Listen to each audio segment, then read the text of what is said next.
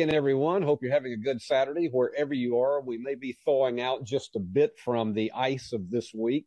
Steve Beverly with you once again for the Union University Basketball Blitz here on the Ball Game Blitz Sports Network. And Coach Mark Campbell joins me again, and we preview another classic that you, you can look at it no other way. It's always that way when Union and Valdosta State get together, but Today, again, a lot rides on the conference standings as we get into the month of February leading up to the conference tournament. Mark, let's talk about this because Thursday night you had a challenge with West Florida. Now here comes Valdosta State right behind that. Not a lot of time to be able to prepare for the league leaders in the conference. Yeah, I mean, again, I think we're real familiar with them. Um, Dee does a great job coaching her team, uh, not just on um, details with uh, defense. I think she's a really phenomenal defensive coach, uh, but uh, their their players have a strong mindedness about them. They're, they're probably the most strong minded team in our league that we play, and so I have a lot of respect for that. They they did a lot of things that that made us struggle at their place earlier in the year um, during that weekend. So uh, they exposed some things in us, and I like being exposed. I think that it gives us a chance to get better. And so I think we're a lot better than we were uh, when we played them in January or in uh, December. Mark, let's look at this. Of course, last year when you played them on this floor, uh, you got 18 down in the first half and then came from behind to win late. But this is a ball club, as you say, that they can bring out the worst in you in, in, in some instances because they do this to everybody in the conference. But looking across the board, when you play a team a second time like this, how much do you draw from your own performance in that first game to try to make the adjustments and corrections that are necessary? Oh, a lot. Yeah, I don't think she's going to change what she did against us in our previous meeting or the two meetings we had last year. I think she's doing the same things. And so uh, we just got to get better uh, playing off script.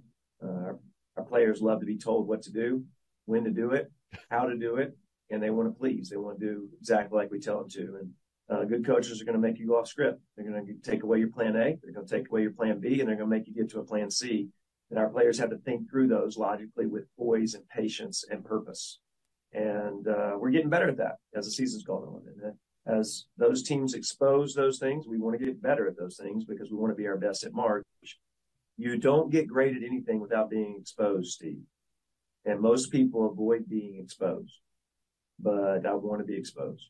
I want to be aware. I want to give, that gives us all the knowledge and understanding to be prepared to execute.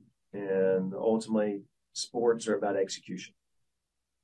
We talked to Dave Niven, and we're going to be talking with him later about this uh, when we preview the men's game about distractions at this time of year. He says they're going to happen. You know they're going to happen how do you help your team to try to not focus on distractions that occur as they come down the stretch run of this conference race? Yeah, I think that, you know, I think distractions are basically um, us knowing and being aware of our weaknesses. Um, being aware of yourself, pretty important, Steve. Um, you have bad breath, it might, I mean, that, you might want to know about that. It's going to be offensive to other people. but, uh, and I'm that's a joke, but at the same time, it's true. We better know ourselves well. And we talk about this all year long. And you better have a desire to attack weakness. And if you attack weakness, you'll find your strength in small details that are within moments instead of concentrating on a big thing that provides weight. And if we just know that we're trying to win small battles of details and those details become habits and those habits provide the foundation for execution, then the distractions are things individually that you have been working on all year long based on your weaknesses. And so everybody has different ones.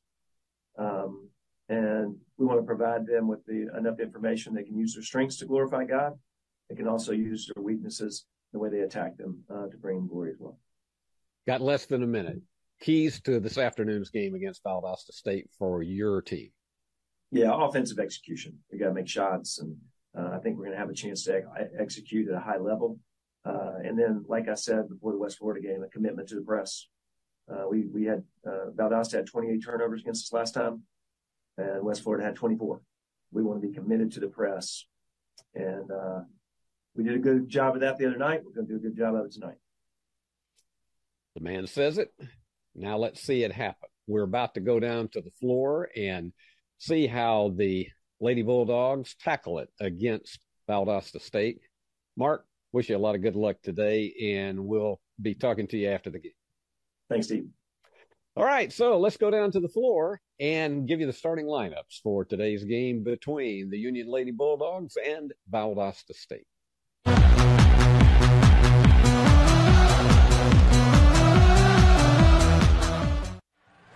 And here are your starters for Deandra Shermer's Valdosta State Blazers. Jira Ards, she averages eight a game. She's from Eufaula, Alabama. Emma Martin, she is a 5'11 junior from Richfield, Utah. The engineer of this whole train, Taylor Searcy, she leads in scoring and rebounding.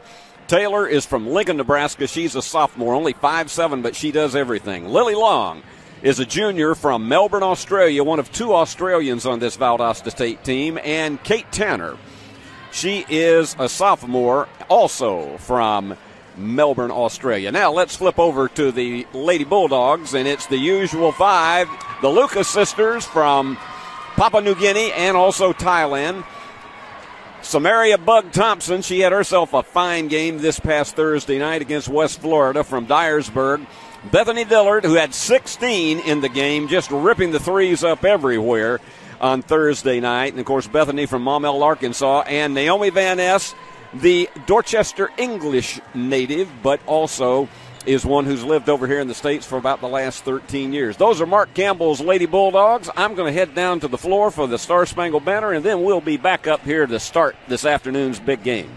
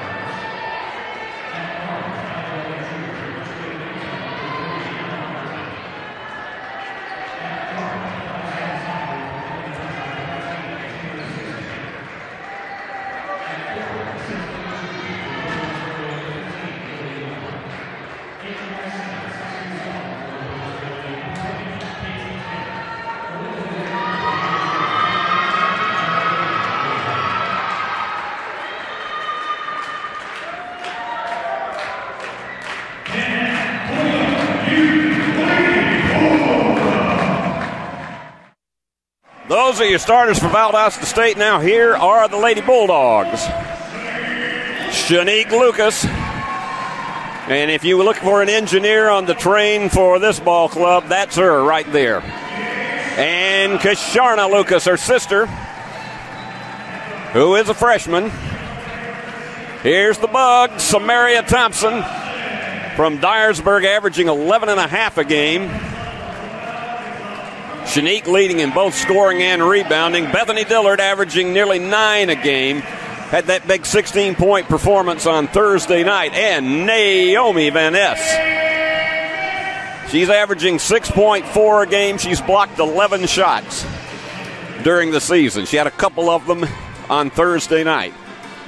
Mark Campbell talked about how the key, once again, for this game as it was Thursday night, to trust the all court press not to vary from the basic game plan.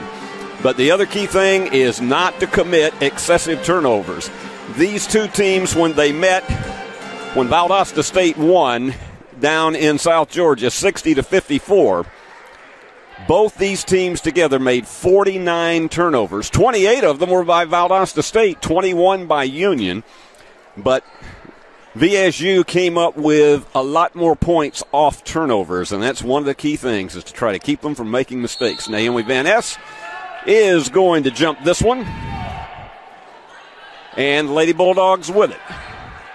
They got out to such a hot start and were just never even threatened by an exceedingly tough West Florida team. They tried to go inside to Van Ness and they're saying that it was off of Naomi's fingertips, so Union with the first turnover of the game. And Union is going to stay in that all court press all game long. This Valdosta State team averages 20 points off turnovers, so you make a mistake, you're usually going to pay for it. Now, they love to get that ball into Taylor Searcy every opportunity they can. And flipping one up was Tamaya Francis. That one just went nowhere. That was actually Jaira Ards. And there you go, right down the lane, Shanique Lucas. So no harm from that first turnover in Union with the first score. And back into that with three guards up front issuing pressure. So they call this first play and trying to beat everybody down the floor and so excessively quick in drawing the foul. That one is going to be on Kasharna Lucas. Glad to have all of you aboard, whether you're a Union or Valdosta State fan watching on our streaming network this afternoon. It's so good to have you here. Aunts, uncles, moms, dads, grandmas, grandpas, brothers and sisters, and anybody else who's a close friend. We are cousins. We are so glad to have you with us today. I know you're proud of all of these young ladies for both schools. Full disclosure, as the second free throw goes through for Searcy. full disclosure, I've been broadcasting Union games for 28 years, but also I went my first two years of college to Valdosta State. So I do have a connection between both schools. They tried to get it to Van Ness, and she saved it. That pass was way too long. This team will change up on you. They'll go man to man, but then they will slick you with a zone. Turnaround is there.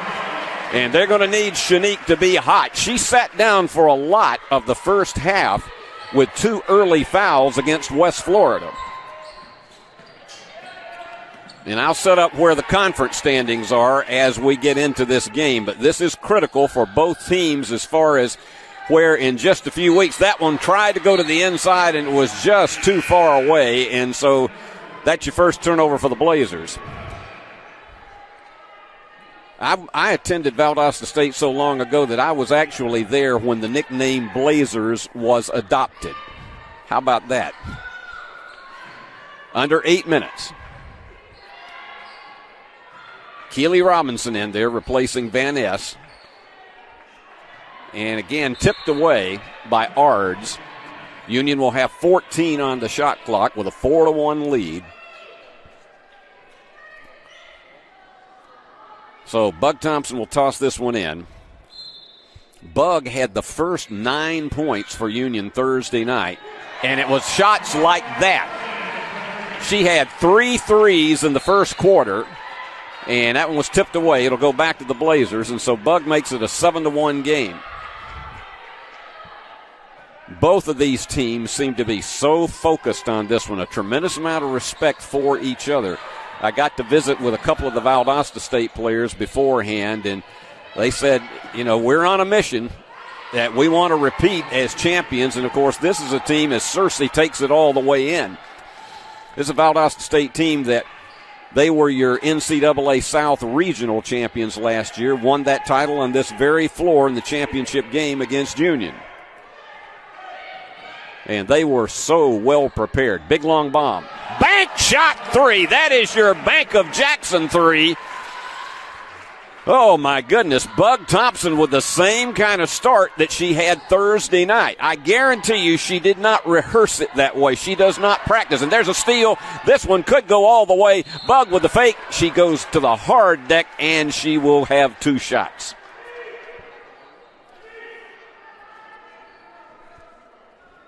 So again, forcing turnovers and then capitalizing off of them.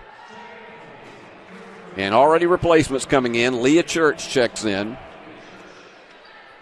And Lauren West, our player of the game. You're going to meet Lauren up close and personal during halftime of our men's game today. It's a fun interview, and I found out some things about her that I think I, I didn't really know. Bugs got her free throw percentage up to 71 now, and she's getting more and more reliable from the line.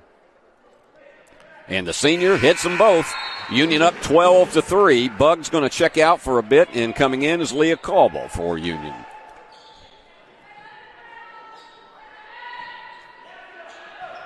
And they're staying in that press, and good job of beating it down the floor.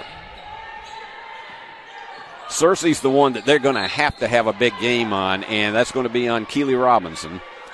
Keeley was moving in reverse with her. That's not going to be a shooting foul, at least unless we're surprised by that. Mark Campbell will probably put about 5,000 paces on his pedometer during the course of this game. And a foul before the throw in on Leah Caldwell. They said she pushed off a bit. Now, Leah, you wouldn't do such a thing like that. Her folks are here today, and so are Lauren West's. Lauren's dad is pretty easy to find because he's six nine. Shot off to the right, and it is Lucas, who is the leading rebounder for this team as a guard, but she is after every loose ball. She is after every rebound. Leah had some really hot games in January from behind the arc, down to 10 on the shot clock. And Lucas has it to rim off. She had a good look at it, but it went astray. Here they go, scrambling for it. Knocked away by Union, but the Blazers will play it with 22 on the shot clock. Shiley Morrison comes in to give Shanique Lucas a rest. This has been Mark Campbell's strategy all year long is to substitute religiously and frequently to keep them fresh for this all court pressure. And most of the time, it has worked. Oh, somebody is open over on the left hand side, but it was well short. And the rebound to Morrison. And big bomb for, yes, ma'am, Lauren West picking up where she left off with the 20 points on Thursday night in Union to an early 15 to 3 lead and that one's too high, and it goes right into the hands of Union. Third turnover for the Blazers. I wouldn't call Valdosta State rattled right now. It's just that Union is playing on all cylinders, and that press is creating some difficulty. Larson lost it. And that is going to be charged, I have every reason to believe, as she is on the deck. That is going to be on Keeley Robinson, and that is her second already. And we're not even five minutes into this first quarter. And Valdosta State sends in three substitutions. Coming into this one, Lady Blazers 17 and 3 overall, Union 15 and 3. Valdosta State atop the league standings by one game over Lee and a game and a half over Union. Union in third place. Down to 20 on the shot clock. And that one's lobbed inside. Nice job of recovering. This is going to be one of those back to the basket opportunities, and it does not go.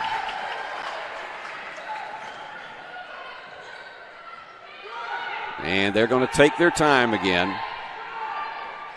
We haven't even reached the first media timeout. Tell you, Leah Church thought about going for it, but st- instead, iron was unkind for Shiley Morrison. And Union picking them up. Kasharna Lucas giving some intense defensive pressure and almost getting the steal. Now, are they going to call that one on Keisha? Yep, said she was a little bit too aggressive, so Union has already committed three fouls in this first quarter. Make that four with that one on Keisha. Keely Morrison has, uh, pardon me, Keely Robinson has two of them. Now we're going to take our first media timeout. So far, it's been all Lady Bulldogs. They're on top of Valdosta State, 15 to three. Back right after we pause for the cause. The Ball Game Blitz Sports Network by Worthy Road Studios. With over 750,000 views in 2022, we are where you need to advertise. Please subscribe to our Worthy Road Studios YouTube channel and join the other 4,000 subscribers watching local sports, including Union University, USJ, TCA, Jackson Christian, and Peabody. Our multi-camera broadcasts include slow motion instant replay, on-screen scoreboard and graphics, and professional announcers. Thanks to our sponsors who make it all possible. Ball Game Blitz Sports Network by Worthy Road Studios, the premier sports broadcast network in West Tennessee. Last month, Mark Campbell eclipsed the 700 victory threshold in what has been a storied career. And I can tell you, back when he was hired by David Blackstock to succeed him as the head coach of the Lady Bulldogs, he saw something in Mark as an assistant coach, as a recruiter for the men's program here, that he felt like was the right spark and there were applications or inquiries that came in from all over America, but David felt like Mark was the right hire, and boy, was he ever. And has become a legend in his own right. Now passing more than 700 victories and doing it faster than any college basketball coach at any level.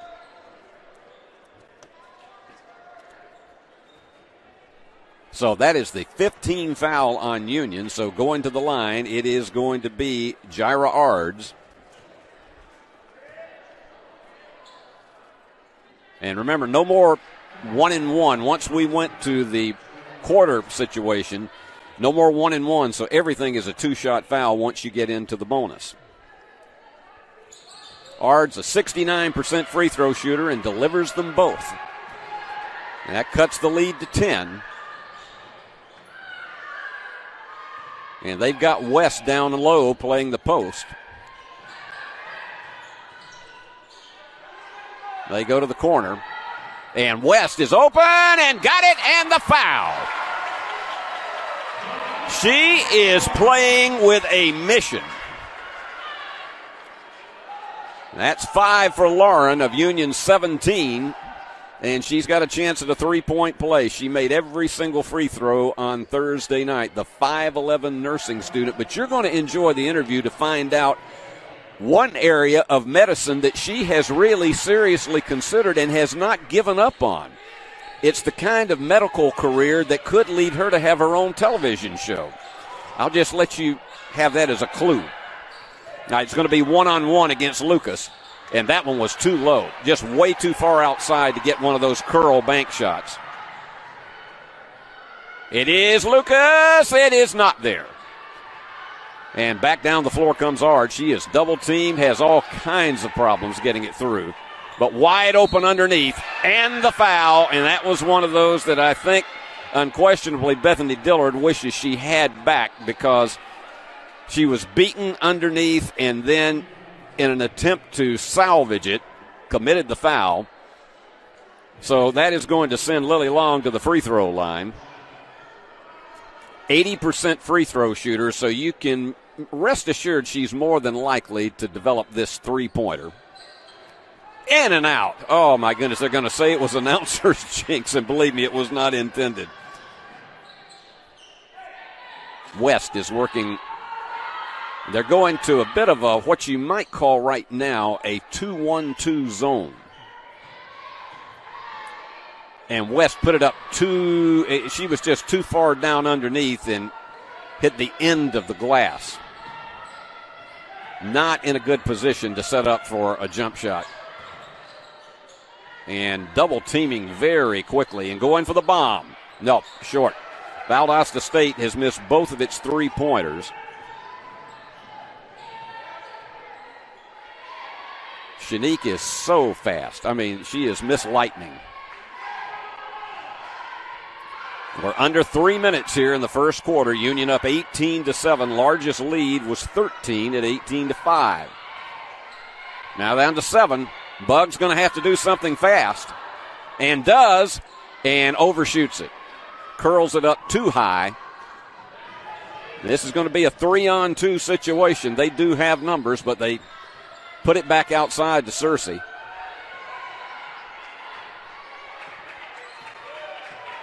Jordan trying to find somebody open. They would love to get somebody down low underneath, and they almost did, but she was picked up by Bethany Dillard.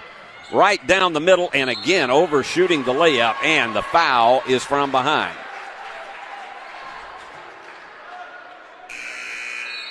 That foul is charged to Alicia Curry, the six footer from Lehigh Acres, Florida.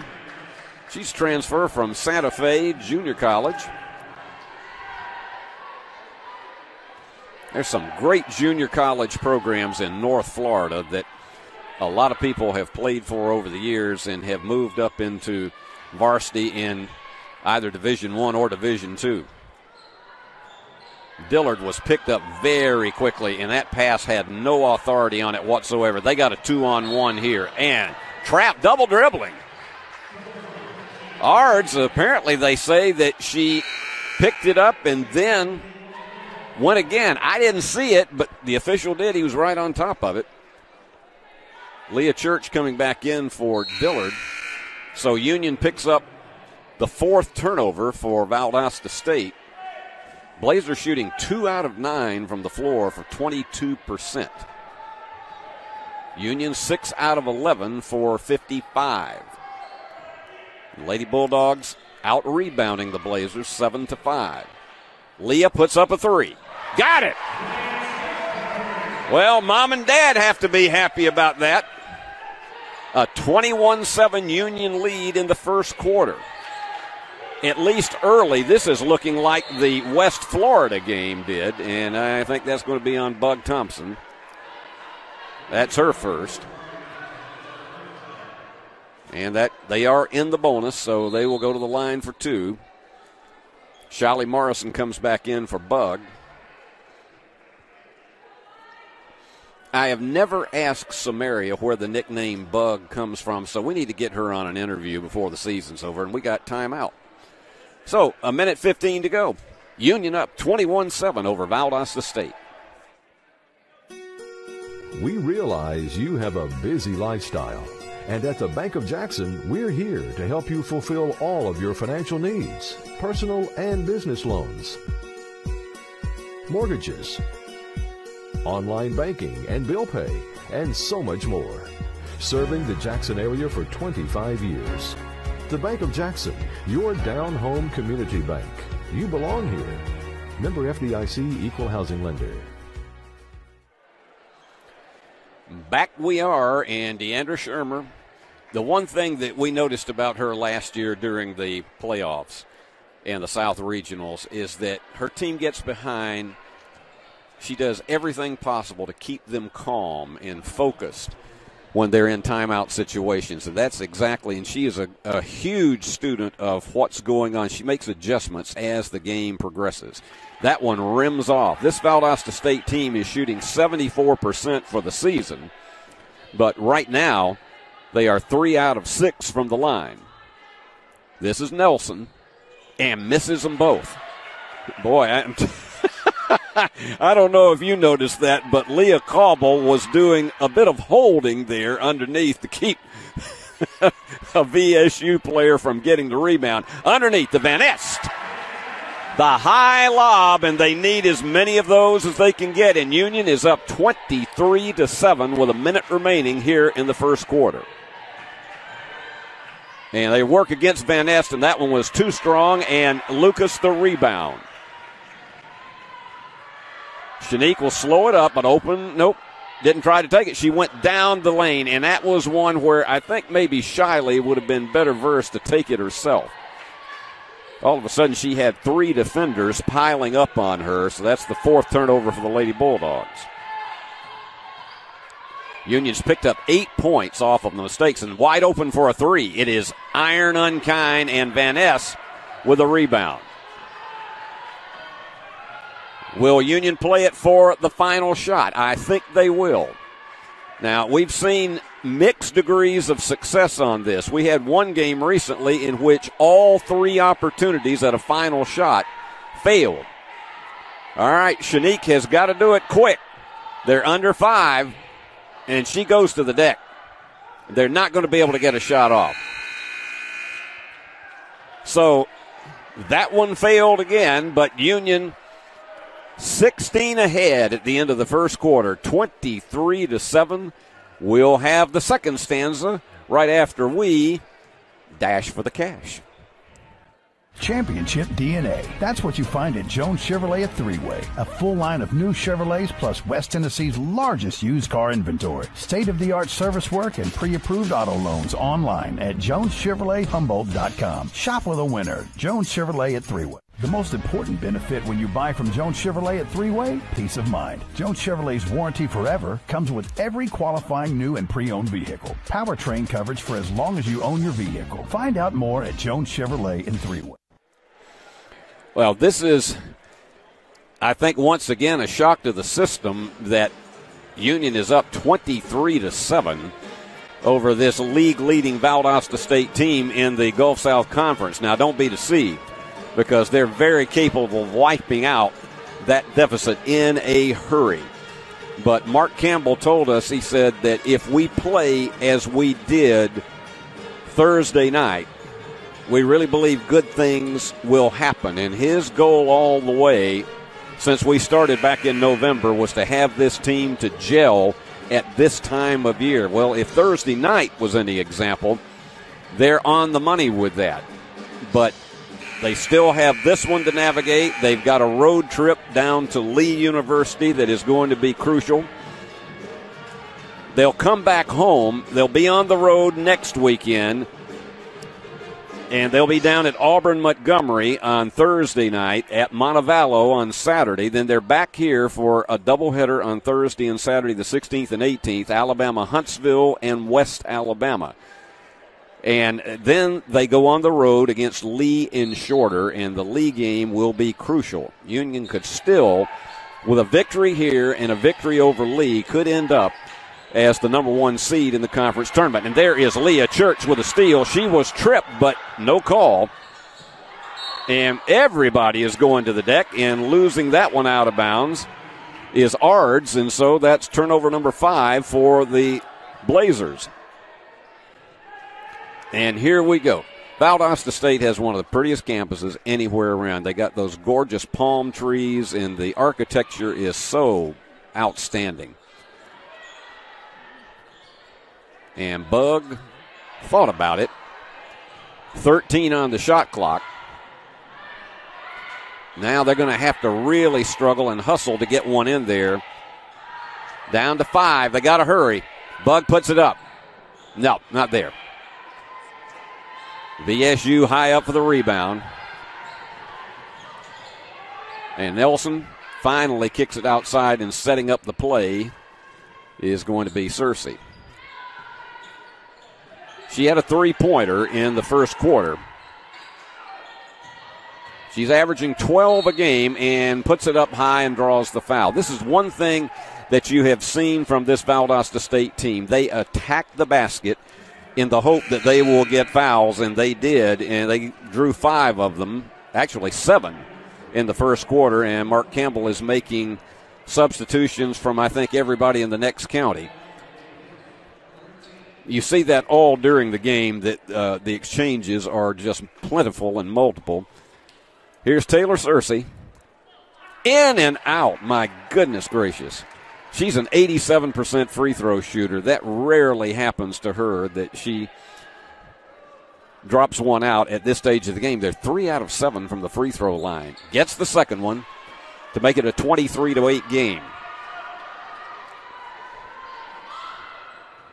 Mark says protecting the basketball, not making careless or really mindless passes. And he says sometimes we get just in too big of a hurry and we'll do things like that. Big long bomb. Now, we knew that was short. She was really and quickly getting it back for the offensive rebound, Shiley Morrison. It is Lauren West. Oh, just short. And here they go. They got a two on one. Now they pick them up. Going to take their time and go to the inside. Big bomb. Just caroms off. And reverse layup is not there. Third opportunity at the basket finally goes through. Emma Martin with her first basket of the afternoon. 23 to 10. So Valdosta State gets the first three of this second quarter. Bug fires one way too far right. And there's going to be a scramble. And it looks like they're going to go back to Union with it. Nope. It goes the other way, and Morrison will check out, and Keeley Robinson, who's playing with two fouls, will come in. Keeley and Kasharna Lucas both have two. Valdosta State has only committed three fouls in the entire contest, and so Searcy will toss it in. And she has got all kinds of people in her face. Union backs off to a two woman press. Seven and a half to go. You take a look at the talent that Deandra Schirmer has developed all through her tenure at Valdosta State. And right in the middle, Robinson knocks it away. Eight on the shot clock. And Union invites the three. And the lead has been cut from 16 down to 10. You saw Deandra. She is just really encouraging her team because they're not worried about that. And turnover. This is the kind of thing that Union, they're not going to stop this one all the way down for the layup for Searcy. Taylor with six now. And all of a sudden, that 23 to 7 lead is evaporating. Remember what I told you. The screen is there, and Dillard cannot get it. Union with a lot of one shot possessions to open up this second quarter. That curl attempt for a layup, and she wanted a foul, but it wasn't there. And there you go. Little Miss Lightning flies it all the way through. 25 to 15, and maybe that'll settle down the Lady Bulldogs a bit. They just went to sleep and let Shanique come up with that one. She's got six. Bug Thompson is the leader with eight. You cannot invite this Valdosta State team to put up a three and give them time to set, just like that one. It was short, but they were right back there for the offensive rebound. Now, now watch how they direct the traffic 12 on the shot clock. They've got them spread out. And nobody came to pick up. Long, uh, pardon me, that was Tanner, her first three. Nobody came to pick her up. So that 16 point lead is down to seven, and we haven't even played half of this second quarter. Keeley Robinson, left hander, got it. Excellent one on one play for Keeley for her first basket. And it's back to a nine point lead for Union. That's going to be all speed and all layup. Absolutely for Ards. That's something you have to be very careful because she has bullet speed. 27 to 20. Union has only had four points in this second quarter. Valdosta State has picked up 13. As they say, you just have to chip away at it. And Shanique was off balance. Not there, and a chance to close the lead down to four. And Union's defense has been playing a bit soft. Almost stolen, and it is. Knocked away. Lauren West right there for the steal. She had three of them on Thursday night, and timeout is called. 4.22 remaining, and Union on top, 27 20. Back with more after we scoot for the loop. Are you looking for a Christian college or are starting the college search process? I want to take a second to tell you about my school, Union University in Jackson, Tennessee. Union is a private four year university known for its rigorous academics, Christ centered community, and the success of its graduates. My favorite part about Union is the faculty. The professors here are so intentional about helping students grow not only academically, but also spiritually. You should check out Union for yourself. Come for a visit. I know you'll love it. At Union University, you'll be transformed. This was Union University's 200th anniversary week, the Founders Day Chapel yesterday was the observance of that, and we're going to bring you select highlights of that in between games as Union is winding up its bicentennial celebration here. And it was a marvelous day. You had interviews with two of the previous presidents before Dub Oliver. Those, of course, were Hyran Barefoot and David Dockery. And you'll hear from Dr. Barefoot during the course of our highlights on this and also how it was celebrated in the chapel yesterday. Well, Deandra Schirmer, as I mentioned, she has a talent for keeping her team focused even when they get down by big double digit margins, which they did at 23 to 7 at the end of the first quarter. And they came out I hate to use a parody on their name, but they came out ablaze here in the second quarter and they've had a 13 to 4 run. And Union has made some mistakes that and has had to rush some one-shot possessions. And a lot of that is because of the Valdosta State defense. They're still playing somewhat of a 2 3 zone. And Union having a hard time finding an opening. Shanique Lucas with six on the shot clock. She's going to have to do something again herself. Puts up a a prayer that doesn't go, and you had two players scrambling for it, and unfortunately, lo- Union will lose possession.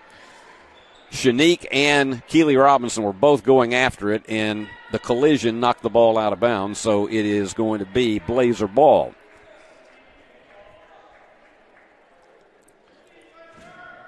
And once again, you're looking at a Union team, and almost stolen, and it is. I was about to say something that I would have had to take back. There you go. Leah Church from outside. That's her second three of the afternoon. Union 5 out of 12 for 42% from behind the arc. And here goes another steal. Leah's got it again, and they say that it was off her foot. No, they have charged the foul. Pardon me. The foul trying to get it back has been charged to Shanice Nelson. She is the 5'8 senior from Nashville. Went to Chattanooga State Community College and now has made her way down to Valdosta. A city known as Titletown, USA, for all of the many state championships that both Valdosta High and Lowndes County High have won in football. And of course, in basketball, women's basketball, and men's basketball, they've been a power for many, many years. 3.20 to go, 10 on the shot clock for Union. Bug has very little time to create here. They're trying to get a screen, and she's got to put up one fast and lost it. And you can see Mark Campbell shaking his head below us. Curl layup is there and the foul. That's why she is Taylor Searcy and why we call her the engineer of this Valdosta State train. Because just one single play like that can put this team back into within seven. And she's always got a smile on her face, just such a talented player. Taylor from Lincoln, Nebraska, went to Lincoln East High School. She's just a sophomore. And again, this has not been her day from the free throw line. I'm telling you, she is 87% from the line, and they're just not dropping today. All right, Thompson, the key thing she can't get into is to be holding this ball 10 seconds in a possession. Now they're down to eight. Bug is fouled on the backside as she went in between two defenders. And the foul is charged to Jordan. India Jordan, who is from Rochester, New York, went to the School of the Arts, a 5'7 sophomore. Naomi Van Ness checks back in, as does Lauren West. So Bug goes to the line for two. She's Union's leading scorer with eight. Her season's average is 11 and a half. Nails it. She's been working on those free throws because she struggled a lot before Christmas. This would make it back to a 10 point margin. And that was pushed just a little bit too much. And Lauren West off her hands. And it goes back to the Blazers. And Deandra Schirmer is motioning in particular for Nelson to get back down the floor. Searcy is just so calm and collected at any given time on the floor in running this offense. 13 on the shot clock and the jumper. Nope, off the mark. And here comes Morrison with it. Jordan had a good look at it, but it just went a little too far right tipped away, and so Union will play it again with 24 on the clock. And Dillard and Shanique Lucas and Leah Cauble will all come in. Mark has shuttled in and out all season long, about every two to three minutes, getting at least two to three fresh players in, sometimes an entire unit. Now, Shanique Lucas will probably play in longer than anybody. Here goes a drive by Cauble. Van Ness was in all kind of trouble. There you go again. Boy, has she found her shooting hand. Lauren West with nine. All of them have been three pointers today. And Union back to the 12 point margin and offensive foul. That'll be turnover number nine on the Blazers. Union has picked up 11 points off uh, Valdosta State's mistakes. So Union just very slowly has been grinding its way back to extending this lead once again. That in the first quarter was 23 to 7 underneath. Unfortunately, Naomi was too far down underneath. Turnaround. Iron unkind. Van Ness is fouled. That's where being 6 6 is such a huge bonus for the Lady Bulldogs. And checking back into the game now is Tanner. Naomi is not the highest percentage free throw shooter on the season, 49%. So you figure if you can get one out of two, you're happy. The line drive is there. So Nay delivers. Can we get two nays out of this one? Indeed, we did. 36 22, Union back in the press again. Now, Van Ness is going to have to pick her up down the court. Beautiful job of defending by Leah Cauble to break up what looked like a sure layup for Valdosta State. There you go, all the way down, and the foul. The bank didn't go, but the foul is going to be on Ards. That will be her second. Alicia Curry already has three for the Blazers. And Union has Church, Robinson, and L- Kasharna Lucas with two. So here goes Shanique on the season, 88% from the line. And just as I say that, you saw what happened. Saw both Lucas sisters last night at the University School of Jackson game. 37 to 22. Their dad was with them.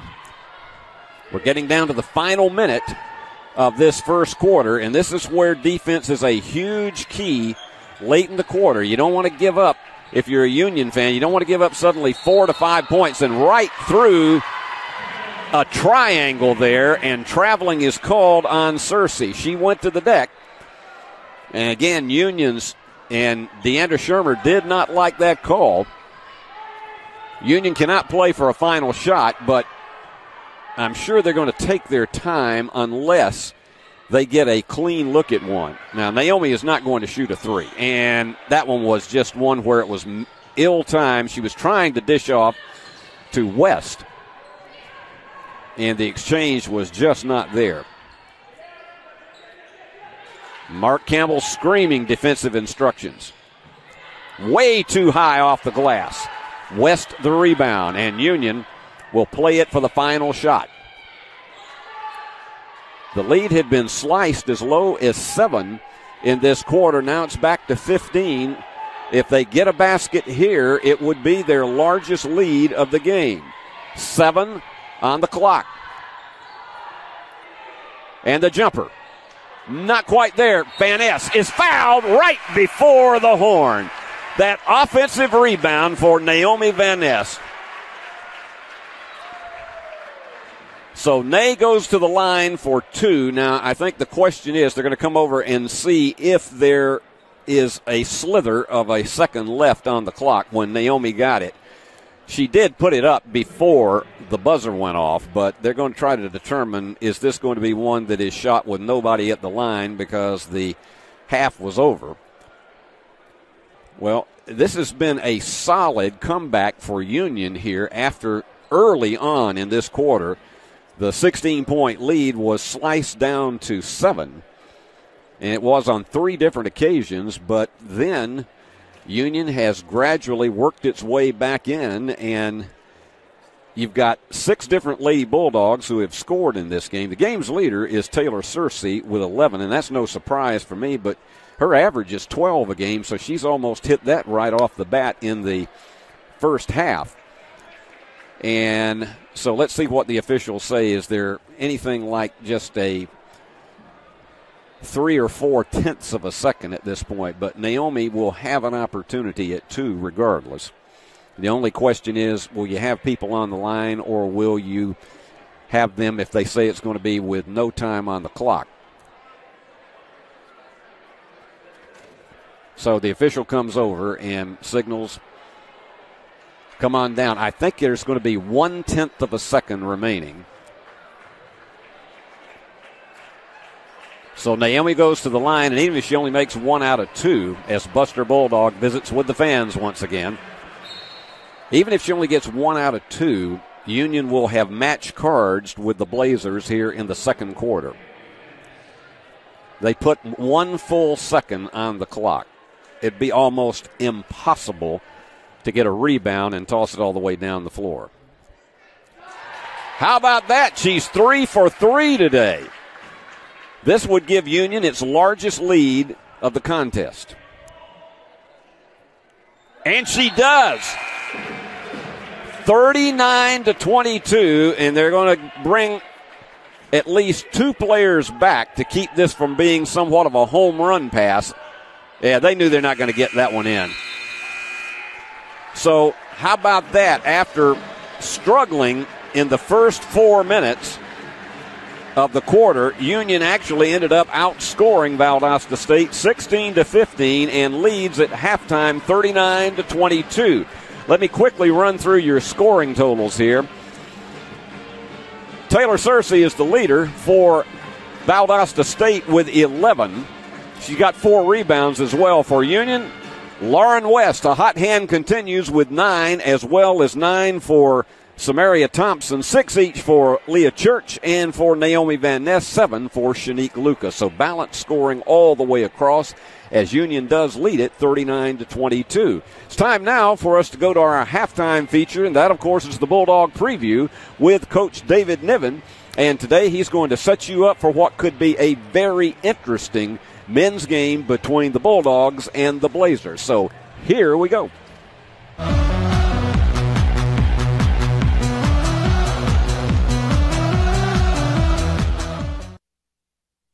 It's halftime here at Union against Valdosta State, women's game, and it's time for us for our periodic visit with Coach Dave Niven to preview the men's game. And Dave, before we get into today's game, let's look a little bit back at Thursday night. It's not an easy one, I know, for you as coach and for the players to look at.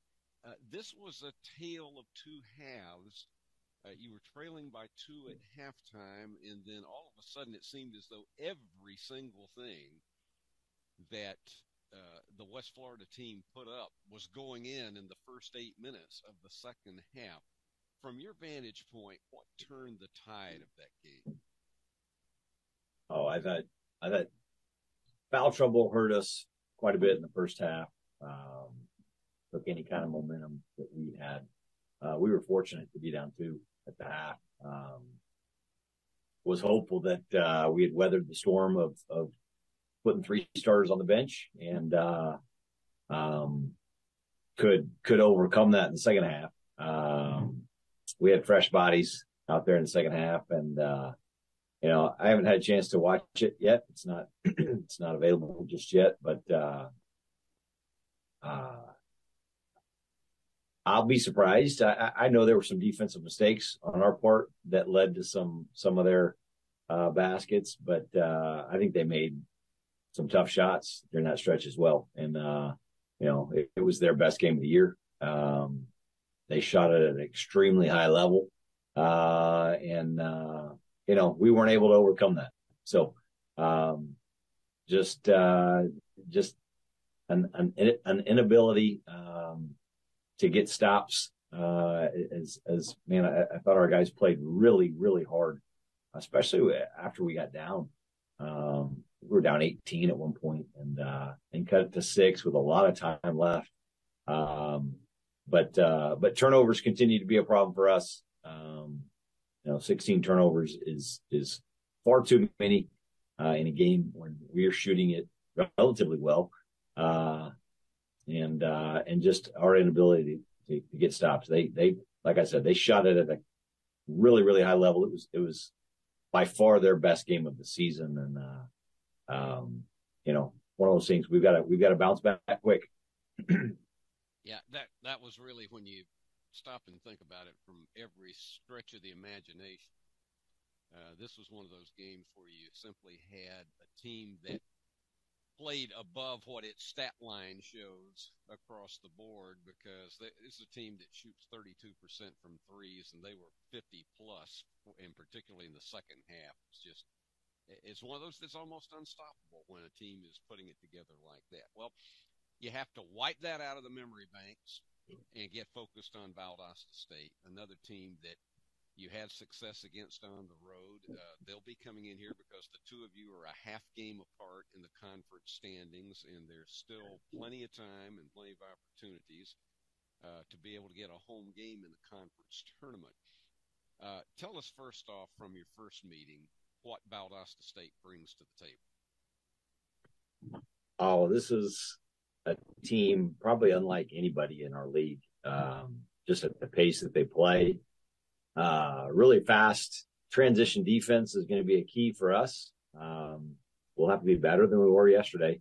Uh, Valdosta, you know, presents many of the same problems uh, that West Florida gave us last night. Uh, they just do it better. Um, you know, they are they are much more likely of a team if, if you're looking at the weekend uh, as a whole, much more likely of a team to, to to shoot it at a high level and and and really get going the way West Florida did last night.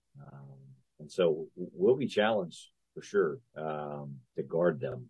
They they, they are um, really really explosive. We've got a lot of guys that can that can shoot it and score. Uh, they made 13 threes last night at Christian Brothers um, from a number of different guys, and uh, so so you know our strength all season has been our, our defense, and uh, we've got to prove that that's who we are. Uh, you know, that last night was, uh, was not something that is, uh, normal or who we are, that that was an outlier. And, uh, um, it'll be really important that we can, we can defend at a much higher level uh, on Saturday. If you, if you look at your vantage point from all of this and you have one that, if you got away last night or Thursday night, how difficult for players is it and for you as coaches to help them okay that's done it's over we can't go back and reflect too much on this because we've got one coming up in another day.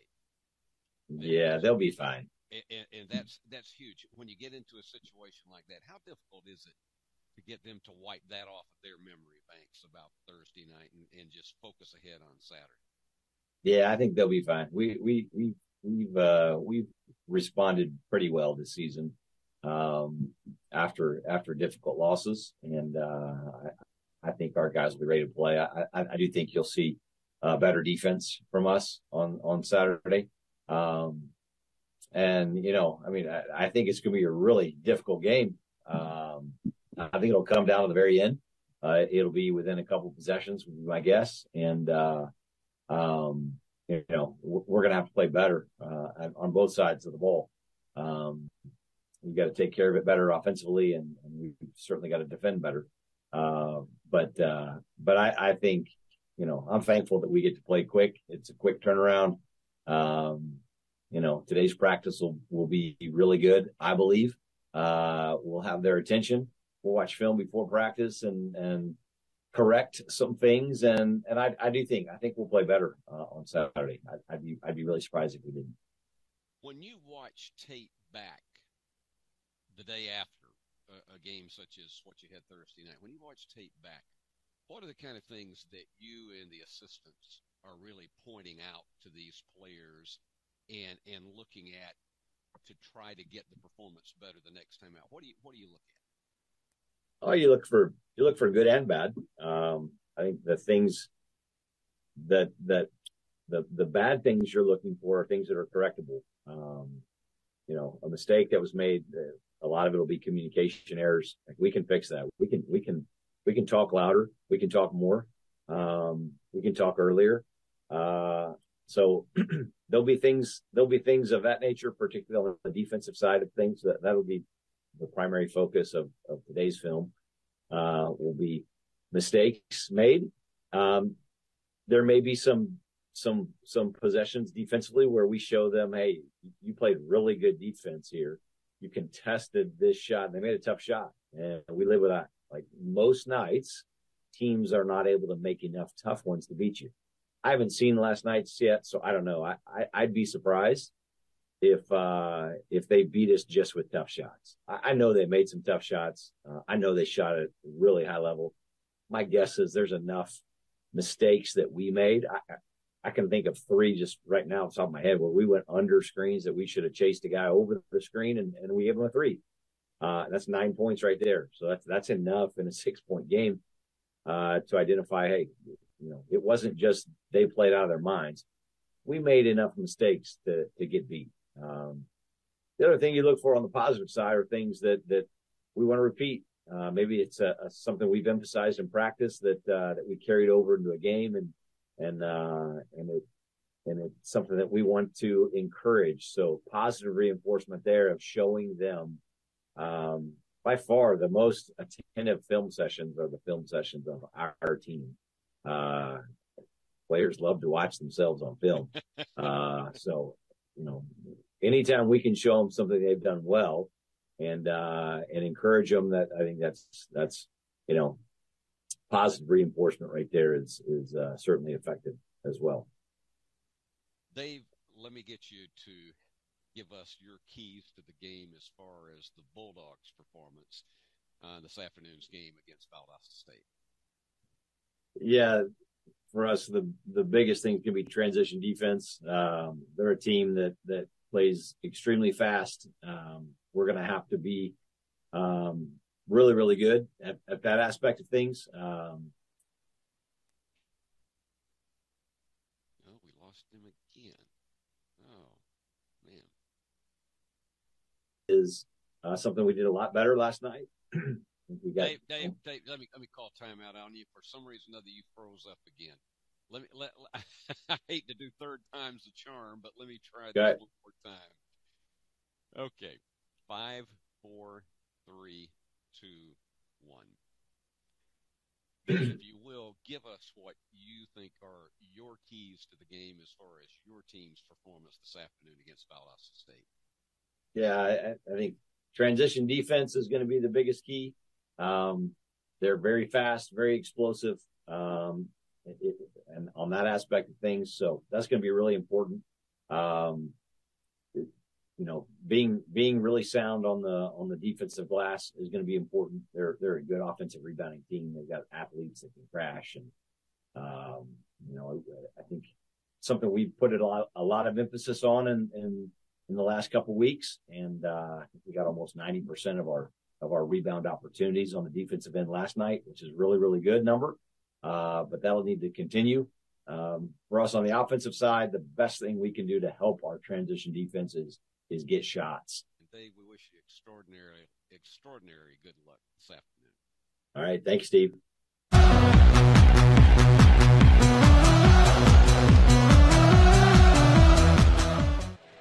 Well, these things happen. I, if you notice there that uh, Dave froze for just a moment, and then you heard me doing a countdown uh, backwards, and that you you have seen one of our secrets here, but we accidentally sent up the wrong piece of video for. Uh, today. It was the correct, and you got the entire gist of the interview. It's just that we had an edited version that didn't have that blooper in it. So just chalk it up. It does happen sometimes, and we will never do it again. I assure you. okay, here we go. We got about three minutes before the second half starts with Union on top 39 22. And we talked about if this would be a probability problem in math, that both in field goals and three point field goals, both teams would have the same totals. Union with the edge 46 to 29% in field goals. Union 12 out of 26. The Blazers 8 for 24. And then in three point field goals. Union 46%, 6 out of 13, and the Blazers are 2 out of 7 for 29%. And in free throws, Union 9 of 11, including 4 for 4 for Naomi Van Ness. She's going to raise her percentage huge today. 82% for Union, and this is so uncharacteristic of this Blazer team that is shooting 74% from the line, 55%, 6 out of 11. That's just not that's not their usual standard and I would venture to you that if they get to the line more, that's going to change in the second half. Union with the edge in rebounding, 17 to 16. Turnovers, Union has committed 8 to 10 for Valdosta State. And here's a big factor in this 17 point lead. Union has collected 13 points off of the Blazers' mistakes while VSU has only picked up four. So there you have it. As Union leads at 39 to 22, it was 23 to 7 in the first quarter. And Valdosta State has never led in this game, and they are your conference leaders. But as I was just talking down below to some people as we were waiting to start this second half, I can assure you they will make their comeback. You saw what they did so quickly in the second quarter to knife down a 16 point lead to seven. And then Union just very slowly, deliberately moved it back out. Boy, that young lady, Leah Church, was really focused on them. She was studying every move. She has watched a lot of tape on this Valdosta State team. And she said before the game, she said, I want this to be a completely different story than it was last time. And Leah's nailed a couple of them today before her mom and dad, who are in the crowd. And as I mentioned also, uh, Lauren West's folks are here. Her dad is six nine, and her mom is five five. Now, go figure that. L- Lauren is somewhat in the middle of that. She's 5'11, although I think you know, she depends on whether she puts her hair up or not. She could be six foot. But you're going to hear from her at halftime of our men's game today, and it is a fun interview. You just learn some things about these players when we talk to them that maybe you just didn't know. And you'll find out what it was like growing up in Nebraska. And she is a complete Chamber of Commerce advertisement for the College World Series. Can't wait for you to hear what she has to say about that big event. I'm serious. You got you got to see how she she describes it. It's going to be Kasharna Lucas to toss it in for Union. This would be huge if the Lady Bulldogs get one right off the bat here because it would extend it to a seven possession lead. And there you go. The curl layup is their perfect geometry for Shanique Lucas. Nine she has and a steal. And Bug is in all kinds of trouble. And Union attempting to try to blow this one out right off the bat. 21 on the shot clock, but Shanique is trying to get traffic directed. And goes down and puts it through again. Shanique with 11. It's a 21 point Lady Bulldog lead. How about that? Almost a reach in by Keisha. They're going to slow it down, but even down 21, I can tell you this team is not going to panic. They're not going to fold. They will make their run or a multiple number of runs. Eight on the shot clock with the jumper. Right down through the heart for Ards. And she has six. But Union still on top by seven possessions and a whistle away from the ball. They'll play it underneath. And the foul is charged to Tanner. That is her first. Curry is the only one in any serious foul trouble with three. And she ended up playing only four minutes in that first half. All right, Shanique will try to create from about 20 feet outside. Dillard for a three. Yes! Bethany Dillard was quiet in the first half. Now she has three. Boy, Lauren West was all over it. I thought she was going to jump about six feet high. Union up by 22, 46 to 24. This is looking, at least for now, like a carbon copy of Thursday night against West Florida. They go to the inside, and Kasharna steals it. 12 turnovers now for the Blazers. Open. Shanique no, too strong. Van Ness tips it, though, back over to Dillard for the rebound. And offensive foul. Shanique got just a little bit too much momentum there, and she commits her first of the game. That's Union's ninth turnover. Checking in is Jordan, and coming out is Emma Martin. When I was at Valdosta State, the legendary Dr. Walter Martin was president of that university, and I can tell you one of the finest men that I have ever met. And that foul is on Bug. She just bumped a little bit as they were on the drive, so that's two now for Samaria. And quickly, Mark's going to get Lauren West, Keely Robinson, and Leah Cauble into the contest. So far, seven different Lady Bulldogs have scored. All five of the starters have tallied for Valdosta State, but they haven't been able to get any bench points. Union with 15 points off of Blazer turnovers. But this team will stay disciplined, run their offense, and try to just shave some time and also to shave some of this deficit off that push just did not go and Cauble the rebound. Boy, Little Miss Lightning was just all over it. Shanique just does so many things with the ball and without it. Look at that head fake. Just did not fall, and the rebound coming off to Ards. Well, they break up the press that time with three minutes, and there's a, almost a steal and it's over and back. Yep, when they reach back to try to grab it and recover it.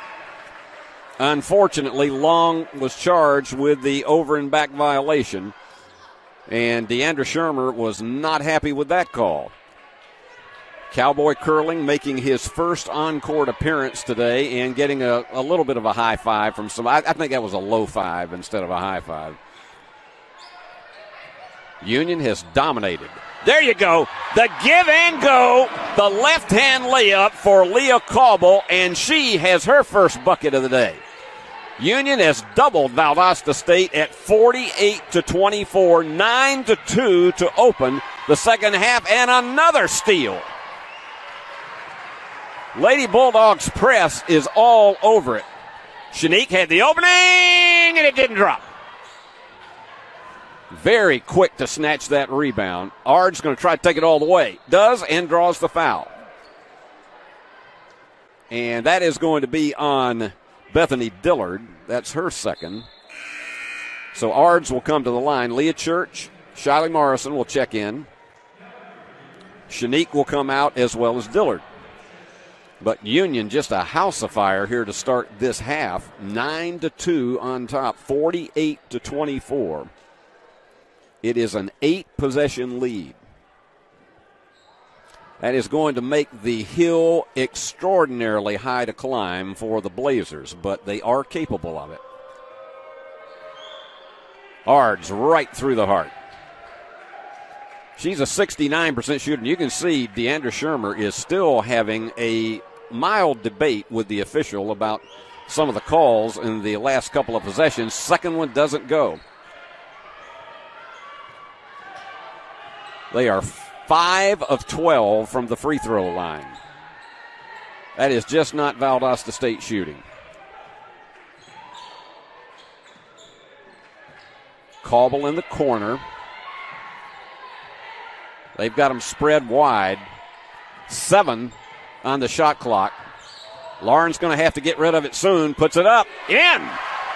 Over the defender. Lauren with 11. 31 points in her last two games. Ard slows it up.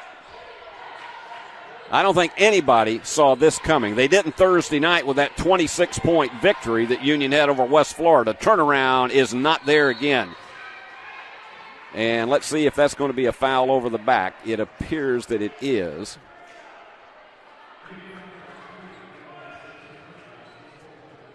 And that one is charged to Lauren West. So Blazers will play it underneath. If Union wins this, they will close to within a half game of the conference leadership. Turnaround jumper, open, and the bank doesn't go. And very quickly down the floor is Morrison. Excellent left handed ball handler. Here goes Robinson trying to get between the defenders. She's going to get tied up. They wanted a travel called, and let's see if they did. I think timeout has been called. So, got timeout. 5.13 remaining. Union all over Valdosta State, 50 to 25. The Ball Game Blitz Sports Network by Worthy Road Studios. With over 750,000 views in 2022, we are where you need to advertise. Please subscribe to our Worthy Road Studios YouTube channel and join the other 4,000 subscribers watching local sports, including Union University, USJ, TCA, Jackson Christian, and Peabody. Our multi-camera broadcasts include slow motion instant replay, on-screen scoreboard and graphics, and professional announcers. Thanks to our sponsors who make it all possible. Ball Game Blitz Sports Network by Worthy Road Studios, the premier sports broadcast network in West Tennessee. Pep Band striking up this afternoon at Fred DeLay Gym on David Blackstock Court. And it has been a Lady Bulldog afternoon, 50 to 25. We're about halfway through this third quarter. And just about every piece of the puzzle has been fitting as Mark Campbell would hope it would. Union shooting 50% from the floor to 32% for the Blazers, 46% in three pointers to 25 for Valdosta. 82% from the free throw line, and Valdosta an uncharacteristic 42. Union the edge in rebounding, 21 to 19. So across the board, it has been a Lady Bulldog afternoon. And they're playing very relaxed, very calm, and it just seems as though they are they are absolutely as collected as I've seen them all. This has been so far the two most complete games that I've seen this team play all year. Big bomb. No, almost there, but the rebound to Church. And they steal it. Oh, eh, they, no, that is going to be, they're going to call it on Leah. And you're going to hear a few editorial comments from the crowd, and Mark is one of them. They say Leah committed the foul trying to retrieve it.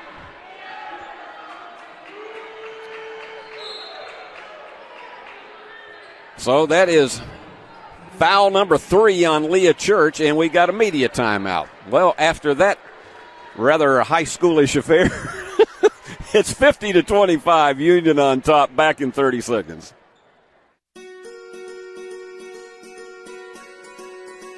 Buying a home is a major milestone, and at the Bank of Jackson, we want to help you achieve it. Our mortgage specialists can assist you with conventional, VA, FHA, or construction loans, as well as USDA and THDA development loans. Serving the Jackson area for 25 years. The Bank of Jackson, your down home community bank. You belong here. Member FDIC Equal Housing Lender. Well, Mark Campbell, you have not seen, eh, eh, I've seen more smiles on his face today than I think I have in any game all season long. Very loose, very relaxed because they are executing. Well, uh, Bret Hart, the former WWE champion, used to refer to excellence of execution, and that is what you're seeing from Union this afternoon.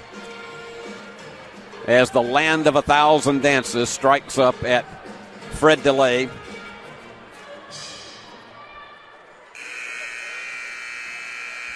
So let's see how Deandra Schirmer plays this one out of the timeout. That is the 15 foul. The one thing the Lady Bulldogs have done, they've committed 14 fouls today.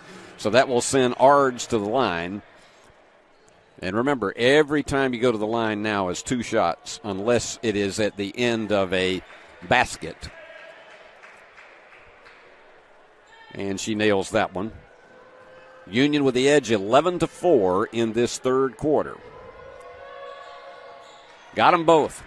She's shooting well above her average today. And they have got all kinds of trouble for Shiley Morrison. She's cornered. How she escaped that, I don't know, but she didn't. Because, look at that. And that is Searcy capitalizing off that turnover. And let's see what happens here. That was a foul before the throw in. So Union is going to have to get some more help down the court because they are now trying to play Union's game, playing an intense half court trap. They're not bringing everybody up, but they are bringing three up. And so that is really creating some problems. And you got to have somebody like Shanique there. And somebody's got to come to the ball. Now they got a three on one. Dillard with a quick release. No. And Shanique knocked it away, and so it is Blazer ball. So the press is beginning to have a bit of a success for the Blazers. Now Union goes back to it. 420 remaining, 50 to 29. Lady Bulldogs on top. It was 50 to 25 before the last timeout. Going for the bomb. No, off the mark. Jordan could not get it. It went too far right. Union will play it. Blazers 10 of 30 from the floor for 33% this afternoon. This is a 43% shooting team on the season. Thompson taking her time. They've got Van Ness back in there, and she's working side by side with Lauren West.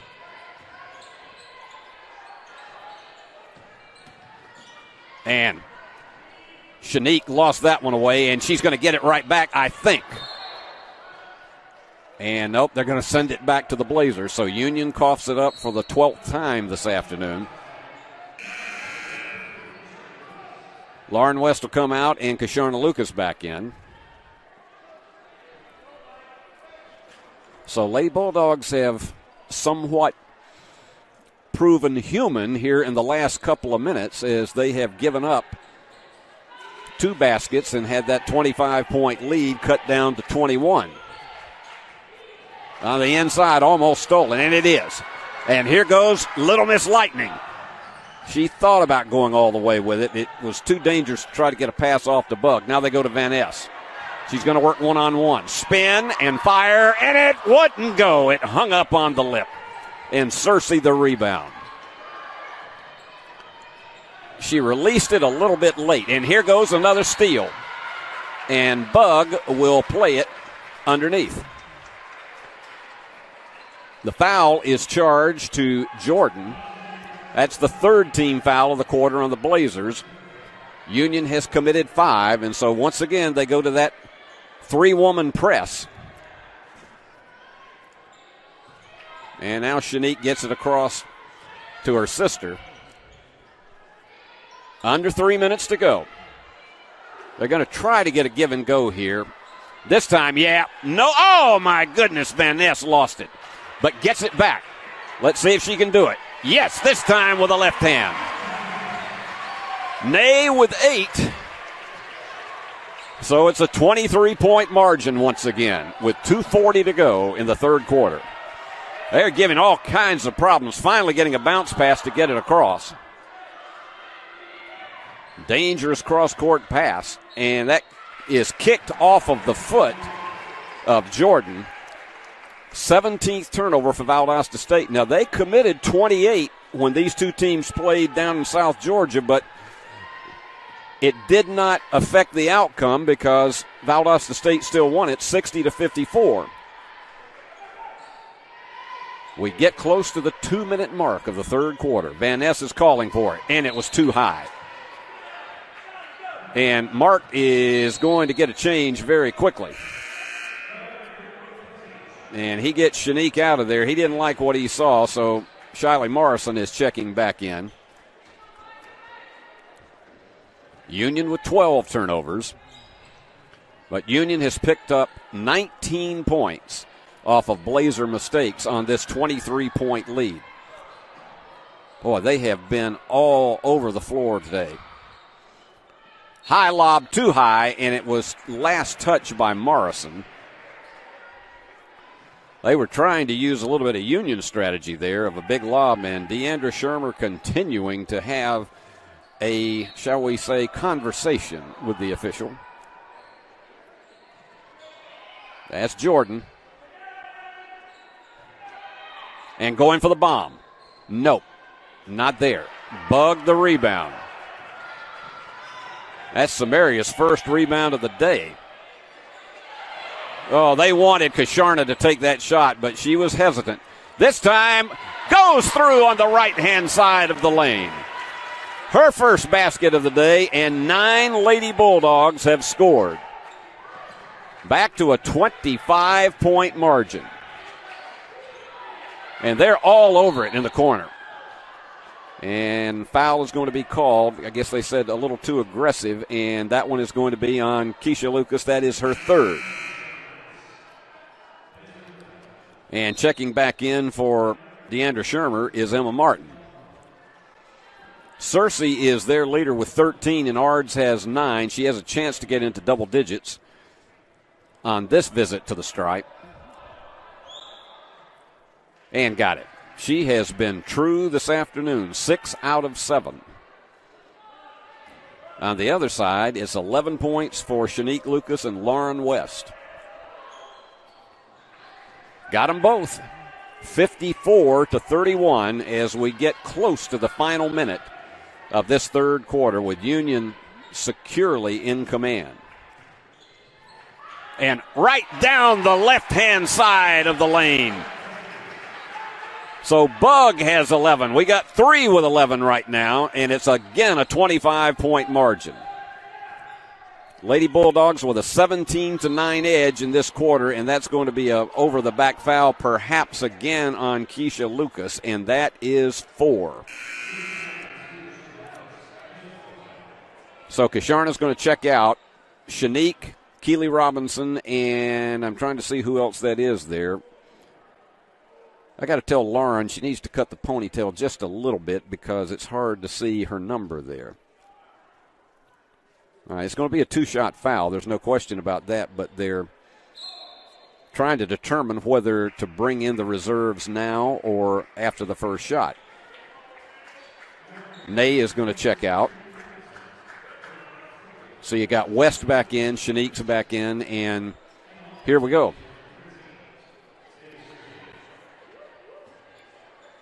And it is Searcy today, two out of five from the line. I cannot believe this, and she can't believe it. Two out of six.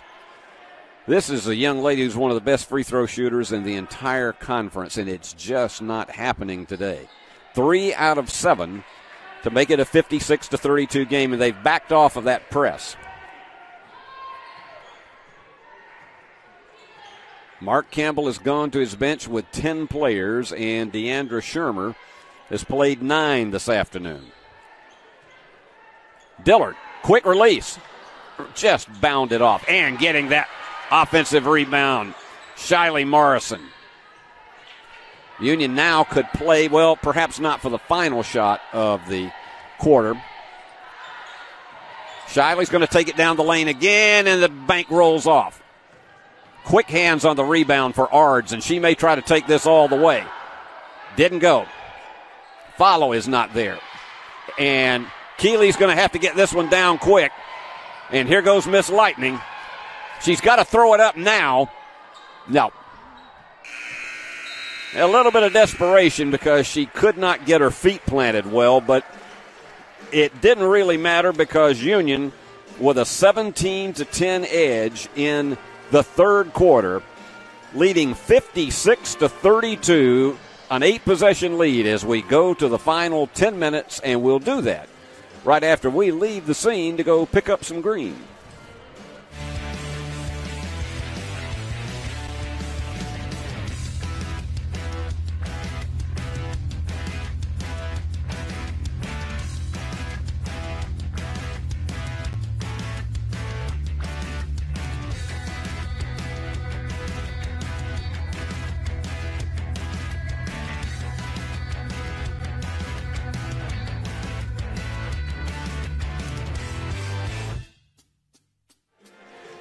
And how about a little Sweet Caroline as we look at both of the teams? Join in at home. Here you go, Sweet Caroline. Ba ba ba. Good times never seem so good. No, so good, so good. Caroline. Ba ba ba. Who believed they ever would? Getting all kinds of entertainment from my director, Christopher Reasons, right here. And we have to have about one sing along per game, particularly if the Union fans are in a good mood. and if they're not in a good mood in this one, I don't know who is. So a 24 point lead for Union. They defeated West Florida 88 to 62 on Thursday night. And this could climax a total sweep of these two teams in dominant fashion, but we still got 10 minutes to play. And I never believe a Valdosta State team is out of it. Now, the odds in a probability class would be huge against a major comeback trying to do it eight possessions, but this is Deandra, this is Deandra Sherman. And let me get that right. De- Deandra Schirmer and I guarantee you, her teams are skilled. They're going to continue to play their defense and their offense in the same discipline that they usually do, and that off the back of the iron. Down to 29% from the floor. And Shanique will try to create from about 25 feet from the basket. Bethany Dillard has one of the quickest releases for a three pointer. And there you go, the foul. And that one is on. That's on Tanner. That is her second.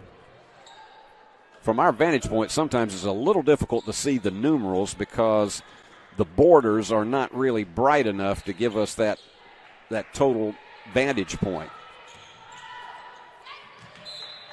Tipped away. It was one of those, shall we say, iffy passes. Shanique was trying to go cross court, and she was very fortunate that it was tipped away. They've got 10 on the shot clock. Union has played fire with that shot clock a couple of times today. Underneath, Morrison gets it.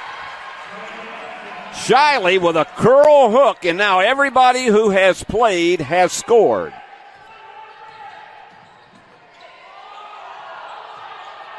Valdosta State is averaging 65 points a game. They're not going to get that today. Big bomb. No, short. That was a little bit too far outside, and I think that's going to be a foul over the back. And let's hope she's okay. I think she hit the deck really, really hard, and I hope it just knocked the wind out of her.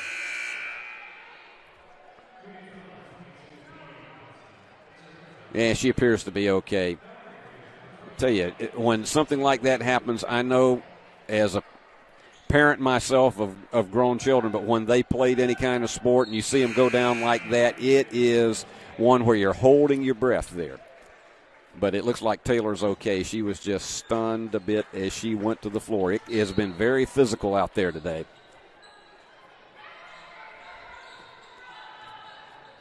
And they try to go underneath and Van Ness is going to be charged with the foul.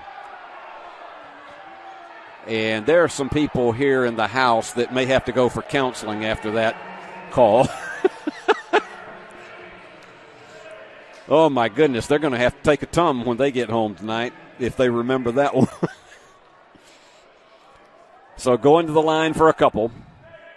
11 of 19 Lily Long with her third point of the game and gets them both. Lily, one of the Australians on this team, and she's a community college transfer. Boy, Deandra can find them from everywhere. She's just one of the most talented recruiters that you'll find in any form of college basketball. 13 on the clock for the Lady Bulldogs. Church is hemmed up and has got to have help. Not inside the foul. So Union will get a new 20 on that foul. That one is charged to Tanner. That is her third. So they've got Curry, Jordan, and Tanner all with three. Tanner will come out. Open. Church. Not there. Just off the back and trying to get it almost a tie up was Leah Cauble. And trying to set it up with eight minutes to go on the inside, and they have beaten Van Ness, but she caught up with them very quickly. The three is not there. Again, the threes are just not dropping with any degree of regularity. Two out of 12 for 17%. And that one had no authority on that pass, and Union coughs it up. 14th turnover for the Lady Bulldogs. Jumper in there. Line drive goes for Searcy. She has 16. She is the game leader. 58 36.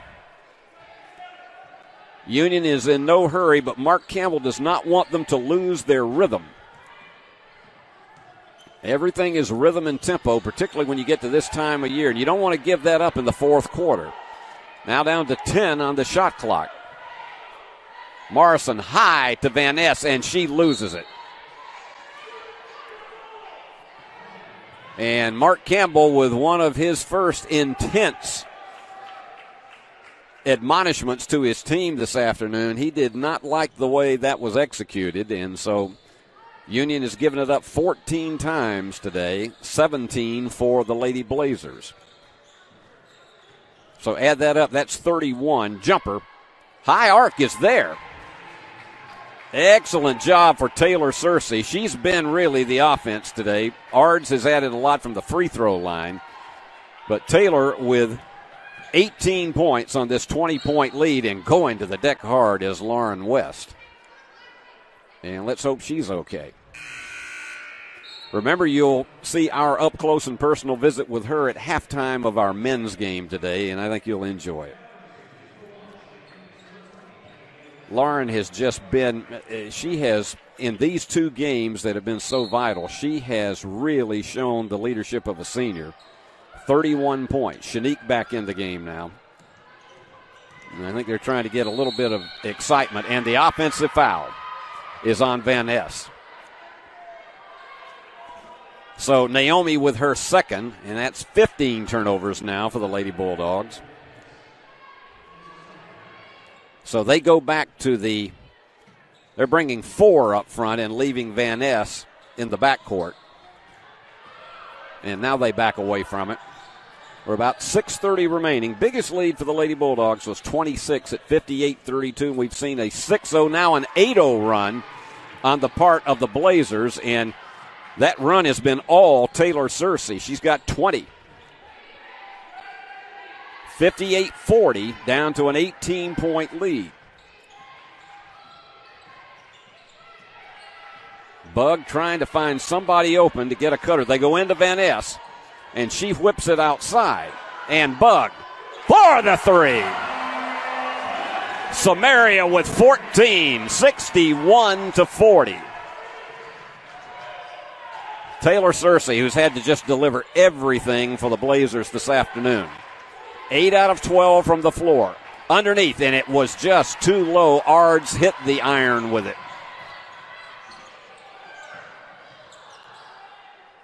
Bug thought about it again. She is picked up by Martin.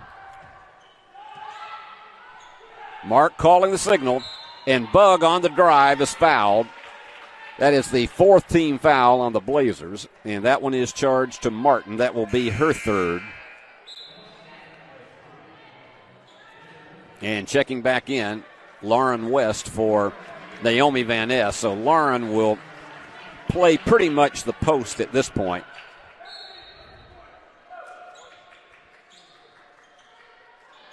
And Lauren may go back door with this. Fall away.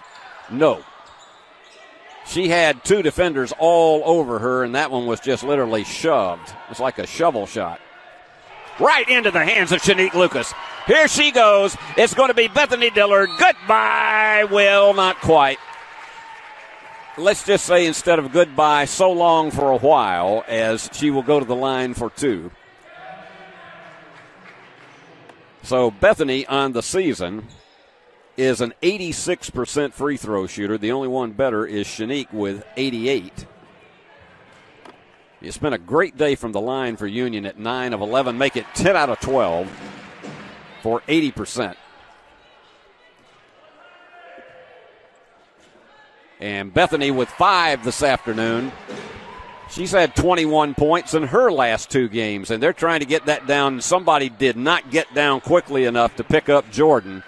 And I can tell you, Mark Campbell was not pleased with that at all. Somebody went to sleep on defense, and you can't do that against this Valdosta State team. They will eat your lunch. I don't care if they are down by 21, and Bug is fouled.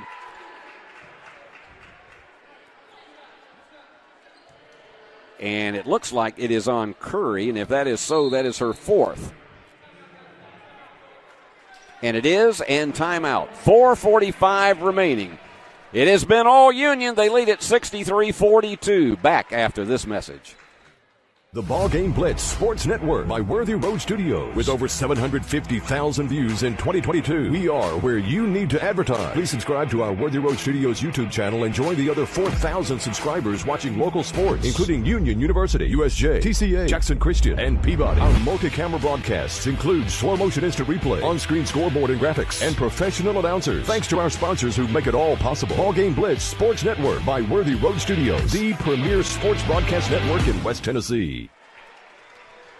Mark Campbell told us in the pregame interview if we do what we did Thursday night, and if we trust the press and we don't make silly mistakes, and he was referring back to the 21 turnovers that they made that led to 20 points for Valdosta State in their matchup down in South Georgia. He said, if we don't do that, and we do the things we know we can do correctly, this can be a good weekend for it and for us, and it has been. 88 to 62 over West Florida on Thursday night and this afternoon. Never trailing in this game, 63 to 42. Biggest lead was 26. And we got 4:45 to go, and now Union for the first time this afternoon is in the bonus. So Bug goes to the line. She's three of four today. She's Union's leader with 14 points.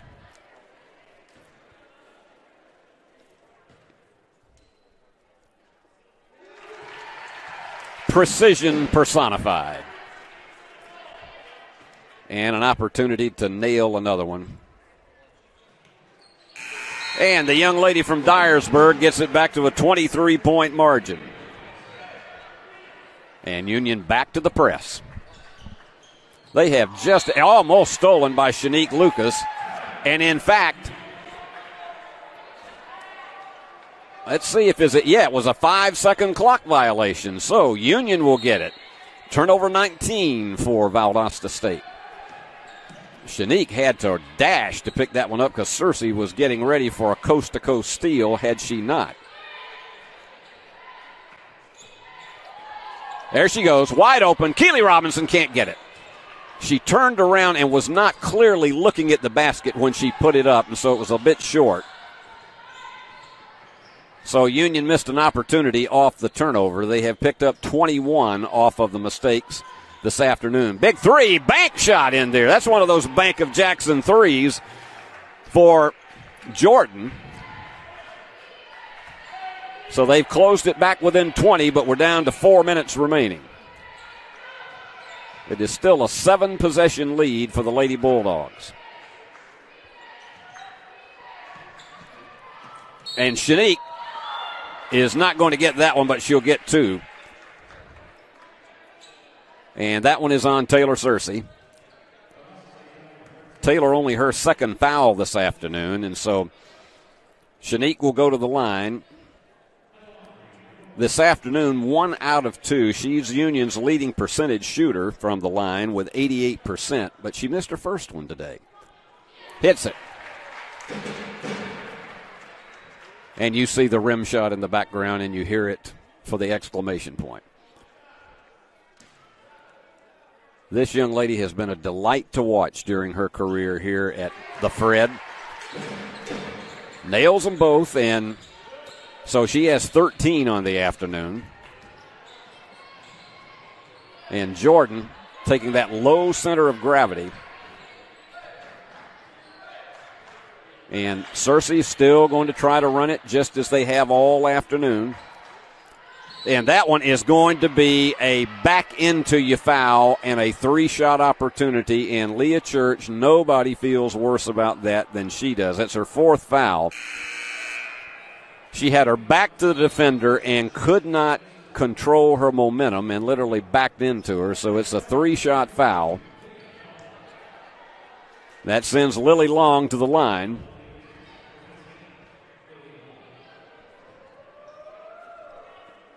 And the Australian delivers the first of three. She is an 80% free throw shooter.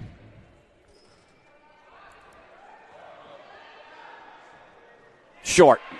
You could almost tell it. She put a little too much spin on it as she released it.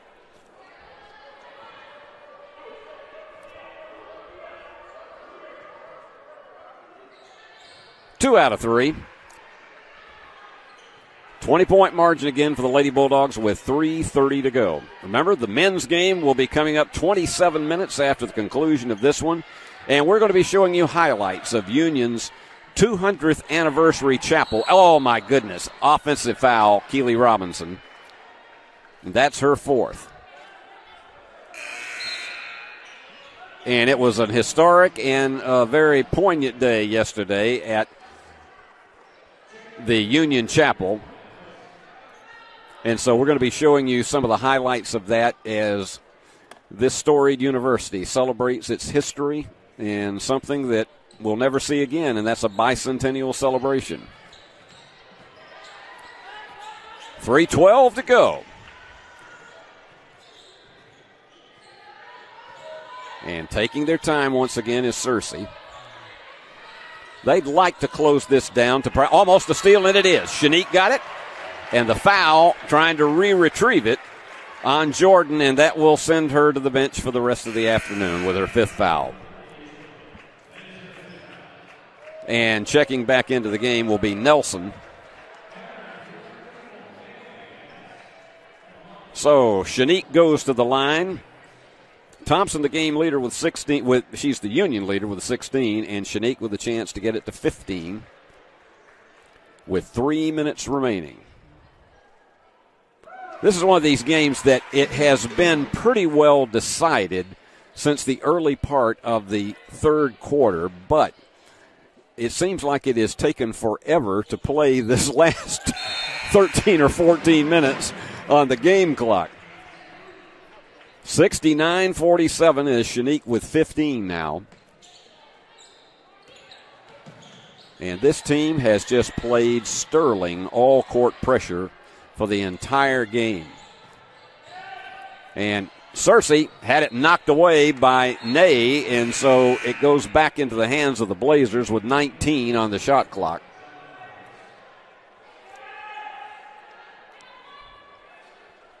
So we'll see how Deandra plays this one. It was such a delight to meet the players individually during the South Regionals last year when they were here, and Shanique almost came up with another one. They go for the bomb, and they get it. Excellent job by Ard. She has 14. That is her first three of the afternoon, only four from behind the arc for the Blazers this afternoon. And Shanique taking it, still holding on to it behind the arc. She could dribble that ball forever. Down to eight on the shot clock. Lauren West takes it through and draws the foul. She has spent more time on the floor today, and that's going to get Cowboy Curling back in for another cameo appearance on the floor. And here comes Anna McCready, Jordan Little, and Shiley Morrison checks back in. So the nursing major, and, and again, pay close attention when we have the interview at halftime of the men's game with Lauren. Pay close attention to the kind of, when she thought about going, instead of being a nurse, uh, of being a doctor, and she said, I hadn't totally given up on it, but the kind that she wants to be. And she got it. That was a Bank of Jackson free throw. 71 50. Lauren with 13 this afternoon to go with her 20 the other night. 33 points in two games. What a week she has had. Jumper. Searcy has it. What a player that young lady is, even though it's going to be on the short end of it this afternoon. 22 points for Taylor Searcy. Now, I guarantee you in the postseason, she is going to be double tough and Lauren's going to be called. Is it an offensive foul or is it a travel? Offensive foul is charged to Anna McCready away from the ball. So 18th turnover for Union. The two teams have had 38 turnovers this afternoon as opposed to the 49 they had down in Valdosta. I know that's still probably too much and too many for both of these coaches' tastes.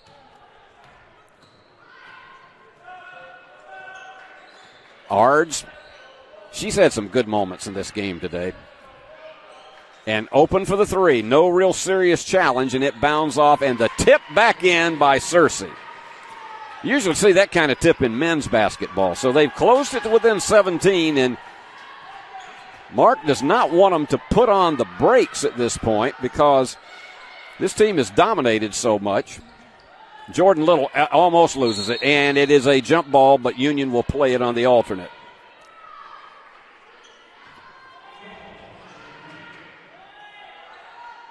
And we'll have our Ball Game Blitz Sports Network player of the game named immediately after this one. And it could go two different ways. Jordan Little wide open. What a fake, and then she just took it right down the right hand side of the street. Searcy takes it slow, goes for the bomb. Not there. And Morrison after another loose ball. Five rebounds this afternoon for Shiley Morrison. Union will probably take one more shot at the basket and she is clipped, shall we say, by Fry. Is that Fry or Tanner? No, that's Tanner. And so Kate comes out with her fifth foul. And that sends Shiley Morrison to the line for two. And we also have Checking in now, Sierra Stedman. So everybody has played for the Lady Bulldogs this afternoon. Right down the middle. 11 different Lady Bulldogs have scored today. In and out for Shiley. So a final possession here for the Blazers and the jumper three. In and out. She was robbed, and Searcy trying to get it home underneath. And it wouldn't go, and Union's going to skate out the game time now, even though they're getting pressed. And this is going to wind it up. It's a 20 point victory for the Lady Bulldogs to go with their 22 point win over West Florida on Thursday night. They get a big, big hand from the home crowd as they win it 74 to 54. And a tremendous, just dominating performance, never trailing in the game, getting out to an early lead of 11 to 3. And frankly, there was just no comeback in the part. They tried a number of times. At one point in the second quarter, after Union had a 23 to 7 lead at the end of the first quarter, the Lady Blazers, in about three minutes, closed the lead down to within seven. And then all of a sudden, Union just eased it back out, eased it back out, and was up 17 at the half, 56 to 32 at the end of the third quarter, and then wins it going away 74 to 54 and so the lady bulldogs are only a half game back now in the gulf south conference standings. So as they have their post game prayer let's give you the totals on this one. Union 47% from the floor 23 of 49 valdosta state 18 of 50 for 36% Three pointers, Union 8 out of 20. They were a lot higher percentage earlier in the game, 8 out of 20 for 40%. And Valdosta State, 4 out of 17 for 23. They just could not make anything fall with any degree of consistency from the outside. In free throws, Union 20 of 23. This is the best shooting day of the season, 87% for the Lady Bulldogs. And that included 5 out of 6 from Bug Thompson, 5 out of 6 from Shanique Lucas, and believe it or not, four out of four for Naomi Van Ness, and that's usually her weak spot is from the free throw line. And then Union out rebounding the Lady Blazers 32 to 31 in turnovers. Union gave it up 18 times to 20 for the Blazers, but in the game, Union picked up 23 points off those mistakes. Valdosta State 16. So let's run down the scoring.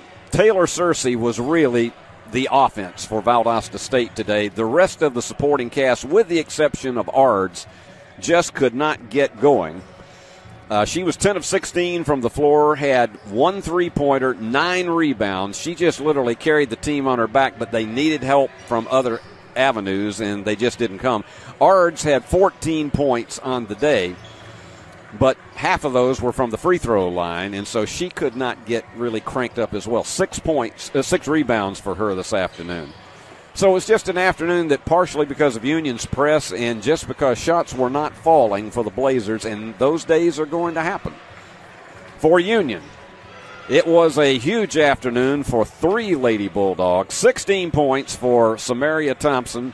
She was four out of seven from the floor, three out of four from behind the arc. Five out of six in free throws. She had a rebound, an assist, and three steals in the game. 15 points for Shanique Lucas, 5 of 12 from the floor. She didn't have a three today. 5 of 6 from the free throw line, 5 rebounds, 4 assists, and 4 steals. So she put it all together. And then for Lauren West, another double for her today with 13 points. That's 33 points this week for Lauren, and it was huge to do that in front of her parents who were here today. And she had four from the field, two out of four from behind the arc, perfect from the free throw line for the second straight time, and had four rebounds. So it's a hard choice to make, but based on the overall total, we're going to give it to Shanique Lucas with 15 points, but she had five rebounds, four assists, four steals and was just really a little bit of everything on the floor, and it's taking nothing away from the 16 point performance of Samaria Thompson. So Shanique is our Worthy Road Studios and our Ball Game Blitz Sports Network player of the game, and congratulations to her and all the Lady Bulldogs for that dominating win, 74 to 54. Well, now it is time to celebrate, and that is Union University's bicentennial in full because yesterday in chapel, it was the 200th anniversary Founders Day Chapel, and we're going to pick it up with some of the music and scripture, and then we'll go into some very special interviews with one of the legendary presidents of Union University. So here we go, celebrate, and then we'll be back to set you up for our men's game.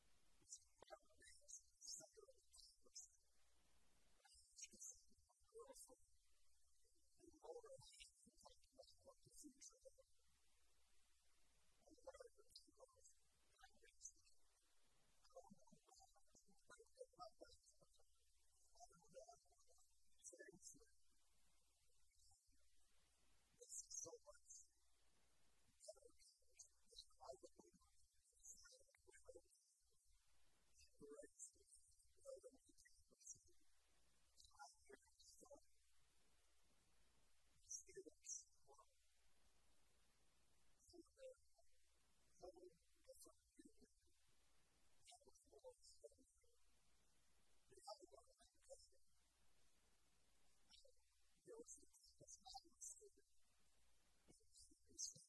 you.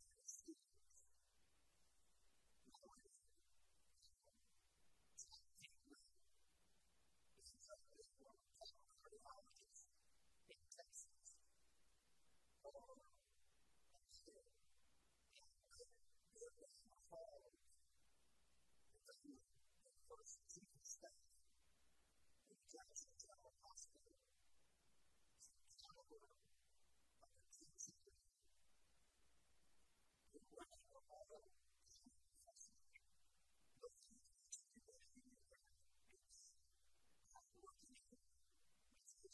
you.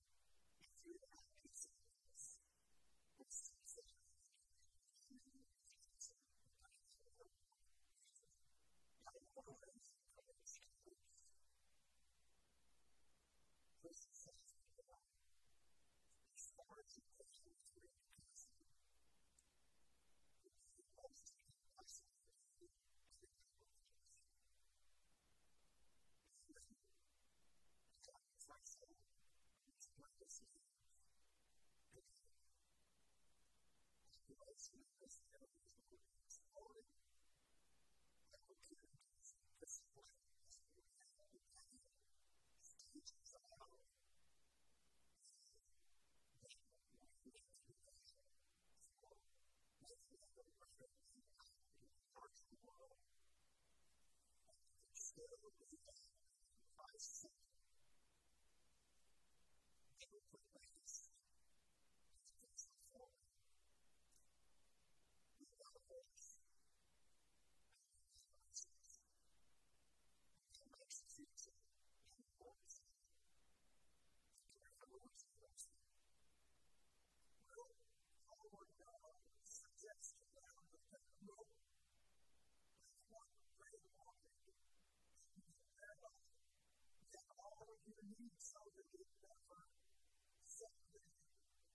morals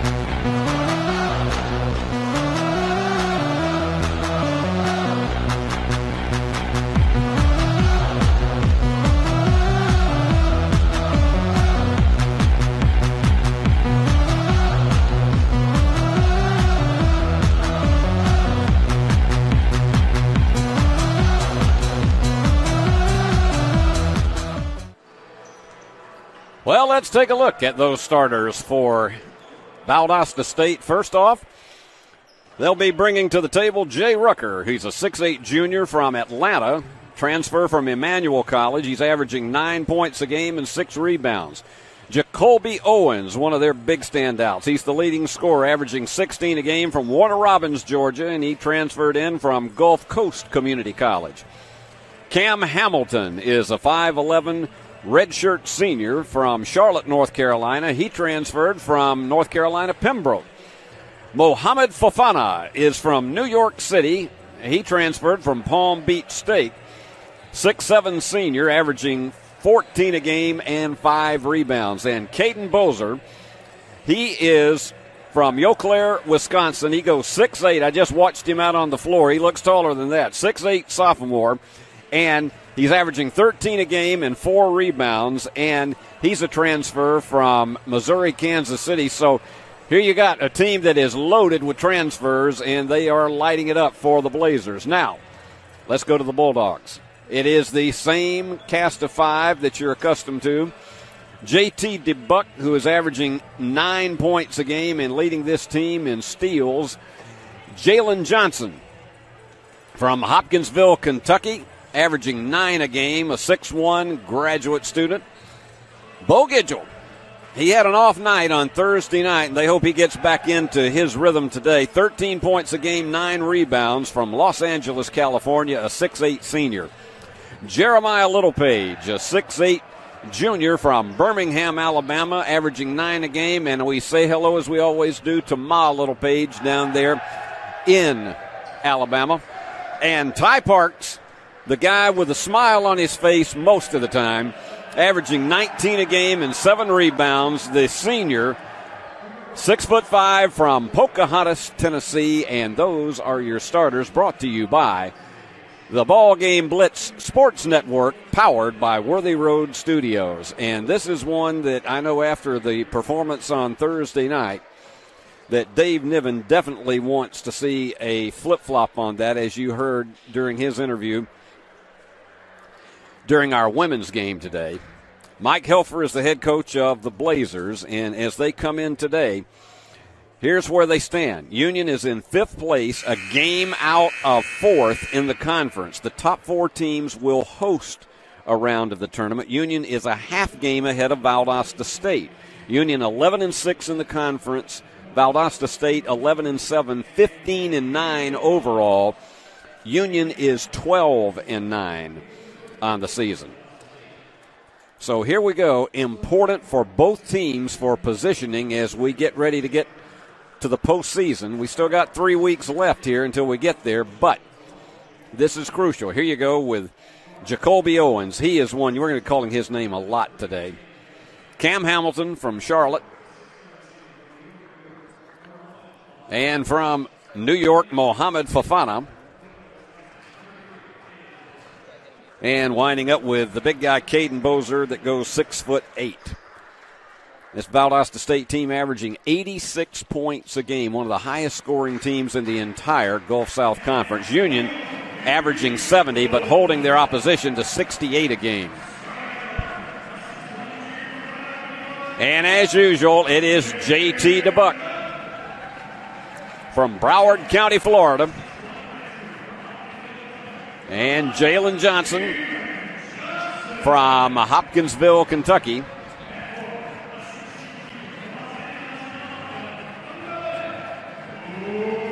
Bo Gidgel, who transferred in here from Prairie View A&M.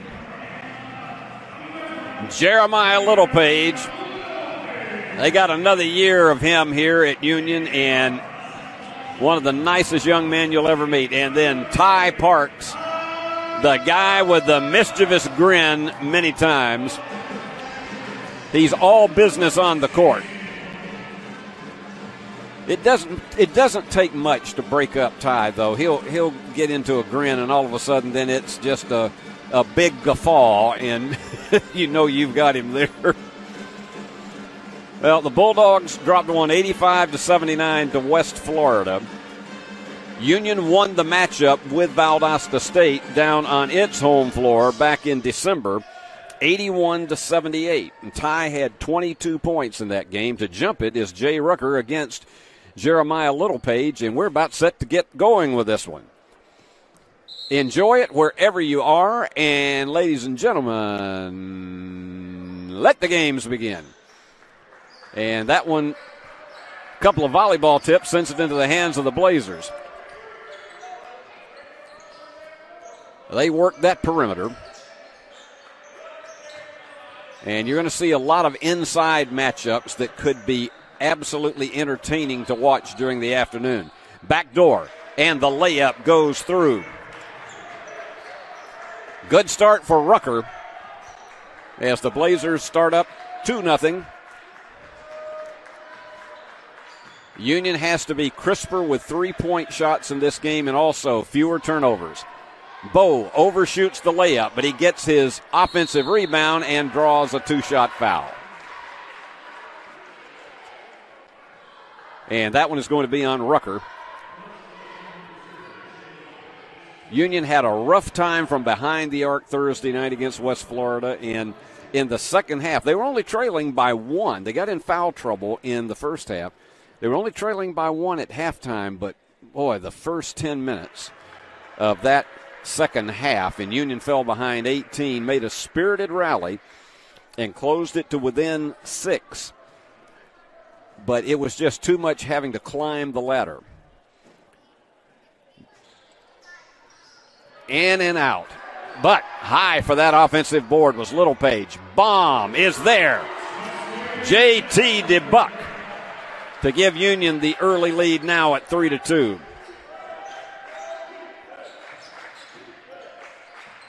JT is a 38% shooter from behind the arc. And they invited that three, but it was well short. and Parks the rebound. Boy, that was a touch pass, and look at that. Bo Gidgel, the floater that goes through. Perfect assist by Ty Parks. That is his 61st assist of the season.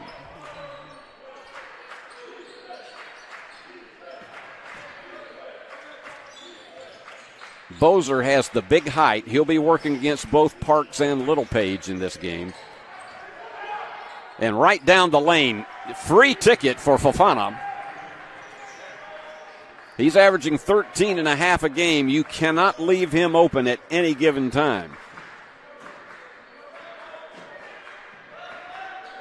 It has been a brutal stretch for both of these teams. And there you go, a big bomb for Jeremiah Littlepage. How about that, Ma? An 8 to 4 Union lead. And the Bulldogs hitting their first threes of the game, and sometimes that does not happen. The answer shot is right there for Bozer.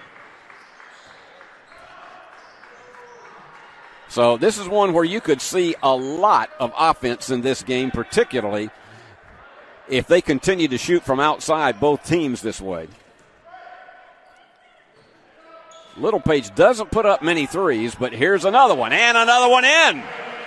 This time, it's Jalen Johnson. But they left behind wide open Rucker. You can't celebrate it much, and Rucker got behind everybody. Kicked away. Littlepage was trying to sneak it in to Gidgel.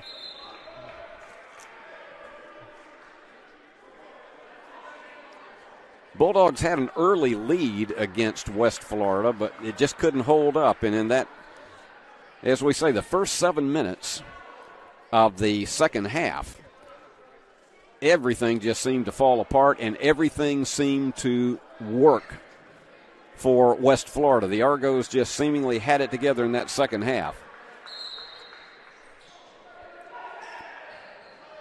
Big lob comes back around the arc. And almost a steal. That was a dangerous bounce pass trying to get it into Gidgel because there were four hands of Blazers that were trying to knock it away. And the official says, get over here and toss it in, not where you were standing. We're three minutes into the contest here at Fred DeLay Gymnasium. Steve Beverly with your play by play story. And look at this beautiful turn and spin move by Gidgel. And a whistle. This Blazer team is incredibly fast. They are not going to waste any time trying to get it up the floor. That foul was charged to Johnson. That's the first one on the Bulldogs. Valdosta State with a little bit of more calm tempo right now.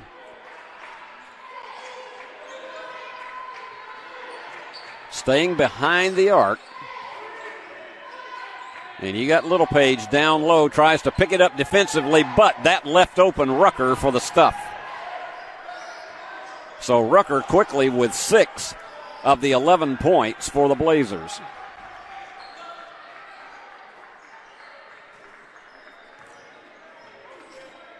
And the turn.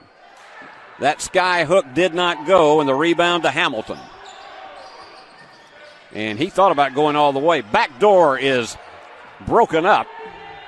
And going backward, and for the three, it was not there for Fofana. And going to the deck hard, I think that was Johnson. No, it was DeBuck.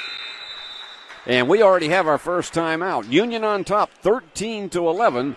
Back with more after this. We realize you have a busy lifestyle.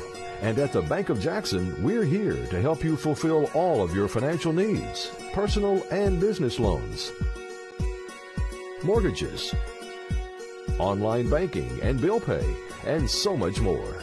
Serving the Jackson area for 25 years. The Bank of Jackson, your down home community bank. You belong here. Member FDIC Equal Housing Lender. Let's look at what our early stats look like.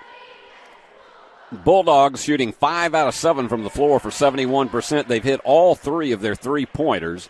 Missed two free throws for Valdosta State. They haven't been to the free throw line. Five out of eight for 62.5%.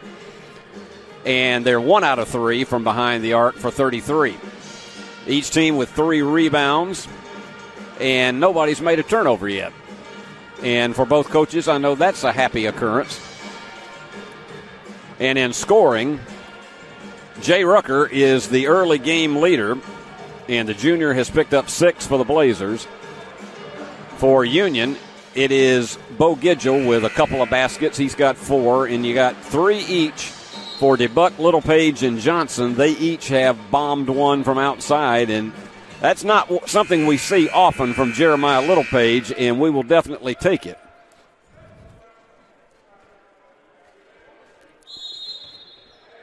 So Union going to the press right now.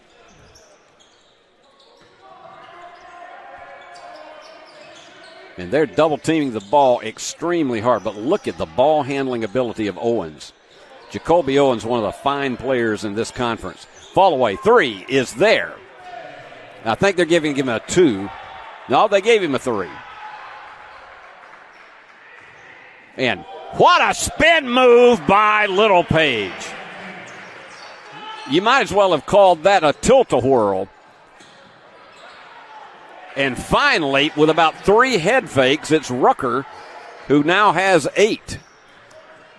And this is going to be a very physical and a very speedy game, particularly way the tempo is being directed right now. Going to the deck hard and drawing the foul is going to be Johnson. I think he saw those defenders checking in on him and he took a spill, but he'll also take two free throws.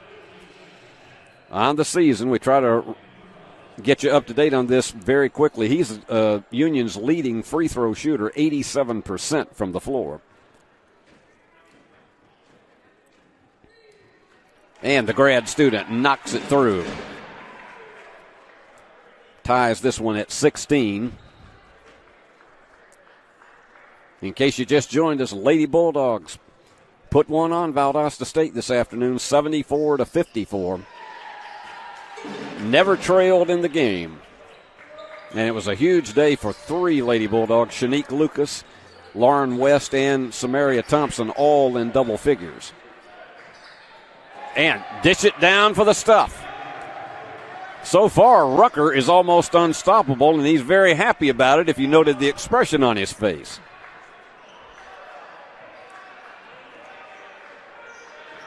Both teams playing very efficiently in offense. A double spin move, and the hook is there for Ty Parks to get his first basket. And they left wide open underneath, and the foul is going to be on Gidgel. This Blazer team is so lightning fast that as they come down the floor, they've got somebody underneath so quickly, you have got to be very fast to get down and pick them up. And we're about to see three subs coming in for Union. Well, no, I think it's two. You're going to see Yvonne Prug and Lane Sarver. Right through the heart. Blazers is only a 67% free throw shooting team, but as we always say, when teams come in here to Union, it seems as though their percentages get much higher. but Rucker has been all over it in the early going. This guy's already got 13 points, and we've only played five and a half minutes. He could end up having 40 very easily if he keeps up at this pace. And again, this has been more of a seesaw game here in the last three to four minutes. Parks and Littlepage. Sarver almost lost it, and he did. Quick hands there by Eisler. That's Mike Eisler from Albany, Georgia.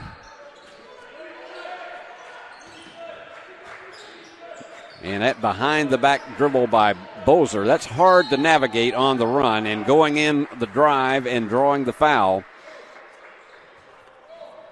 And the foul is charged to DeBuck. That's his first, but they'll go to the line for a couple. No, they said it was before the shot, so they're not going to shoot this one. Well, the way Rucker's playing this afternoon, uh, uh somebody is going to have to double and triple team him today because they and they're going to get somebody in as a sub. Bozer's going to come out and checking in Cam Selders. He's from Morgantown, West Virginia, and he's a six-four junior.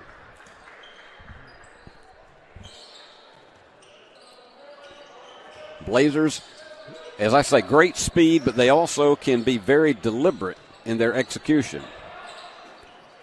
And that one was curled too high, but tipped right back in by, no, it wasn't Rucker this time, it was Eisler.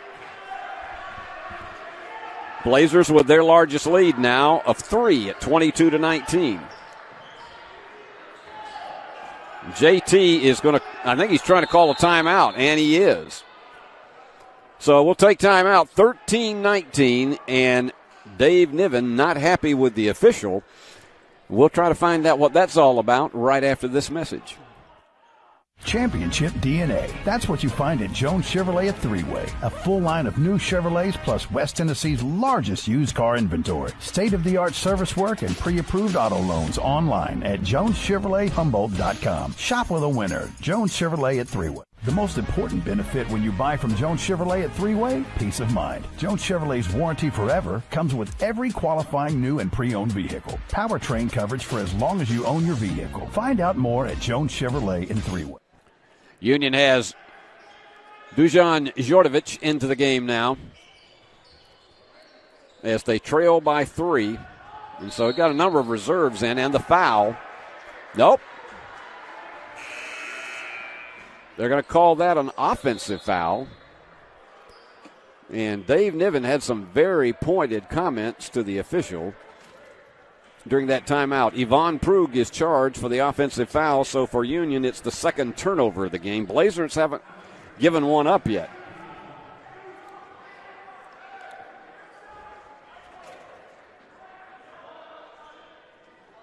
So let's see how Coach Mike Helfer plays this one coming out of the timeout.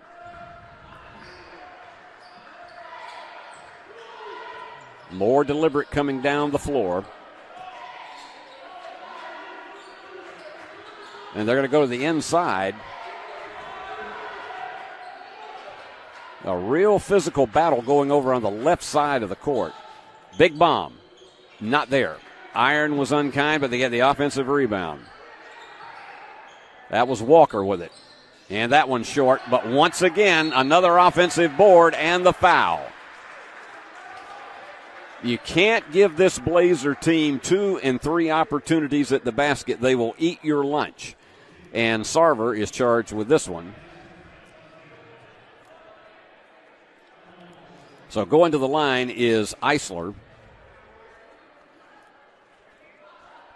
He is from Albany, which is above Valdosta. It's about maybe not quite an hour's drive, and you got towns like Tifton and Waycross, a lot of others that are right around where Albany is that are within easy driving distance. He gets the second of the two free throws, 23 to 19. Albany located right on what used to be called Corridor Z, that sends everybody all the way from the Florida line up to Columbus, Georgia. And got a whistle away from the ball. We have been having a lot of fouls called here in the last couple of minutes of the game. That one is charged to Walker. And Sarver, it's Prug that'll check out as well as JT DeBuck.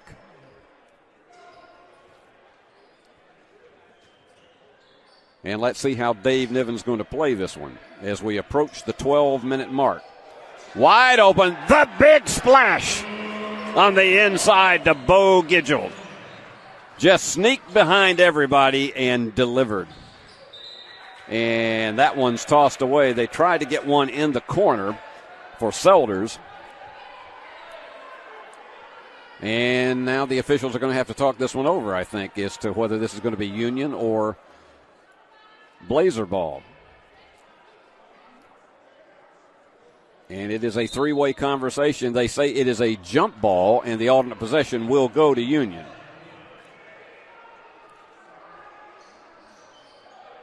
See some of the Lady Bulldogs over across the way in the crowd watching the men's action after their exclamation point victory this afternoon. They'll be seeing Valdosta State again in the conference playoffs, rest assured of that.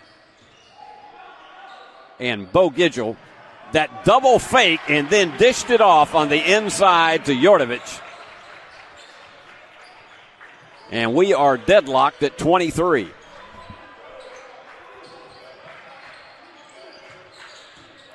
This is a very crisp passing team. Fall away jumper is there for Walker. That's his first basket. You've had six different Blazers to score and six different Bulldogs. This is about as evenly matched in this first half as you could possibly imagine. No lead has been greater for either team than four points. Bo with that backup move, and then the three is off the mark for Ty Parks. They got to be careful of a backdoor play, and that one rims out. Gidgel is going to be a jump ball situation, it appears, and that will send it back into the hands of the Blazers.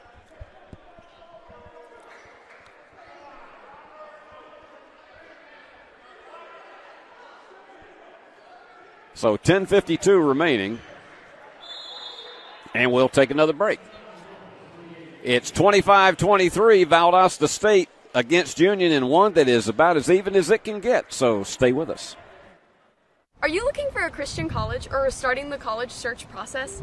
I want to take a second to tell you about my school, Union University in Jackson, Tennessee. Union is a private four year university known for its rigorous academics, Christ centered community, and the success of its graduates. My favorite part about Union is the faculty. The professors here are so intentional about helping students grow not only academically, but also spiritually. You should check out Union for yourself. Come for a visit. I know you'll love it. At Union University, you'll be transformed. Well, Coach Mike Helfer and his Blazers, they have match cards with Union so far. Two point lead right now, 25 to 23. Jay Rucker, game's leading scorer with 12 for Union. It is Bo Gidgel with six and five each for Littlepage and Johnson. Each team has had six players to score so far in the contest. Very few mistakes. Union has made two turnovers, one for the Blazers. And in rebounding, Valdosta State has the distinct edge, seven to three, and particularly five of those are offensive boards. So that's where VSU is getting some of those second and third chance opportunities at the basket. Blazers will play it, trying to go up four.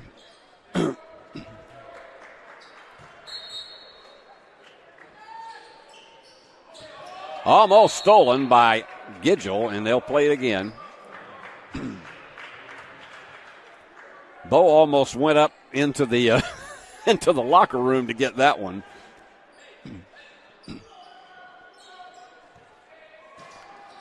Littlepage getting a little bit of a rest down in the side of the bench. Uh, that pass almost went into Humboldt.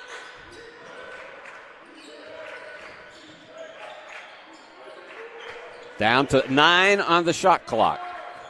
A little bit of a stiff arm and a steal. Quick hands. Look at this one. This is Ty Parks. He is not going to be denied. He drew the foul. He wanted that basket so badly.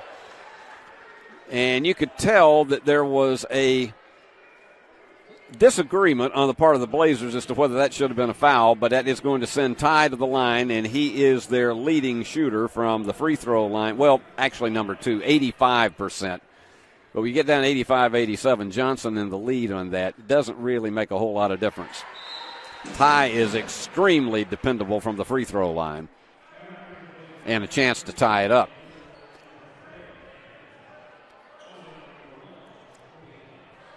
Bozer's going to check back into the game for the Blazers.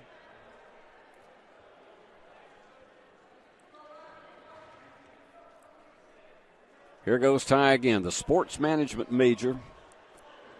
Said he hasn't really made up his mind exactly what he wants to do after graduation. But I guarantee if he does it as well as he does on the court, he'll be very successful. They got to hurry to get this one across. They've got them spread out. Going for the bomb. In and out. But that follow shot is right there for Bozer. And that again is the key thing is that Union is giving them a number of second chance opportunities at the basket. And we are now halfway through the first 20 minutes of action, short on that three pointer by Johnson. And this is going to be a no brainer. Easy toss in. That was just like a dump truck. Bozer now with seven. And you now have a four point Blazer lead. Neither one of these teams can really afford Parks for the three from about 22 feet. Tie with seven to take the lead for the Bulldogs. Neither one of these teams can really afford a defeat here, but the big question is it probably would be more damaging to Union than it would be to Valdosta. From the corner, of the three is there, almost a line drive for Lane Sarver. So now you have seven Bulldogs that have scored, and there is your answer shot. No doubt about it by Ryan Black. He comes off the bench and averages nine a game for this Valdosta team. Trying it from the corner again. Yes! It's raining threes here at the Fred. Sarver with two of them. Almost stolen, but Parks will be charged with a foul. That's his first. He tried to sneak one on the backside and reached in. Union back into the lead very quietly by two. The way this game is being played, this one could be, each team could have 50 at halftime. This has just been a hugely offensive game. Percentages look good in every category for both these teams. Here goes Bozer trying that, thought he might go for a hook and the floater goes right through for Owens, and so Jacoby Owens with his first basket of the game. Owens, their leading scorer, averaging 16 a game. And he was quiet until the eight and a half minute mark of this first half. This is one of those that you'd love to see a backdoor play if you're a Union fan. Nine on the shot clock. Johnson has it swatted away by Bozer, and so there will be six left for the Bulldogs to navigate one. And Bozer really tried to negotiate possession on that, but went nowhere. They got to count it down because I don't think. And let's see what happens. I think there is an issue with the shot clock. Now let's see what happens. They uh, one second went off. Now they've closed it down to three. So with three seconds to go, this is going to be a very, very treacherous journey for the Bulldogs to try to. Now they put four on the clock. So they're going to bring it in on the side, and Johnson to toss it in. So they have very, and Dave Niven is frantically directing traffic to move and he's going to have to hurry. And drawing the foul at the 11th hour was Bo Gidgel. Smart move because he's an excellent driver to the basket, and so he'll go to the line for two. Bo's missed his only two opportunities.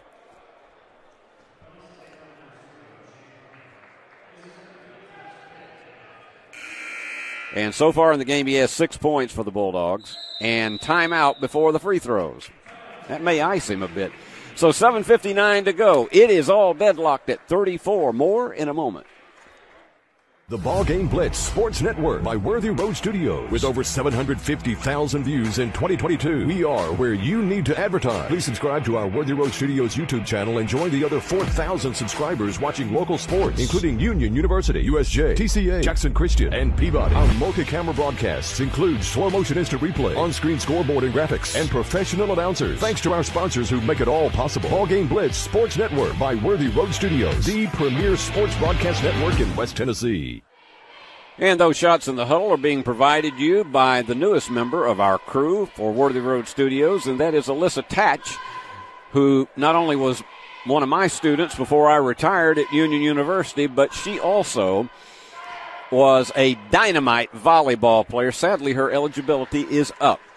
Uh, she played in her graduate year this year, and I wouldn't get within five feet when she rears back and fires and tries to shoot one of those cannonballs like she does when she's on the court. And she told me before the game today that she does miss it.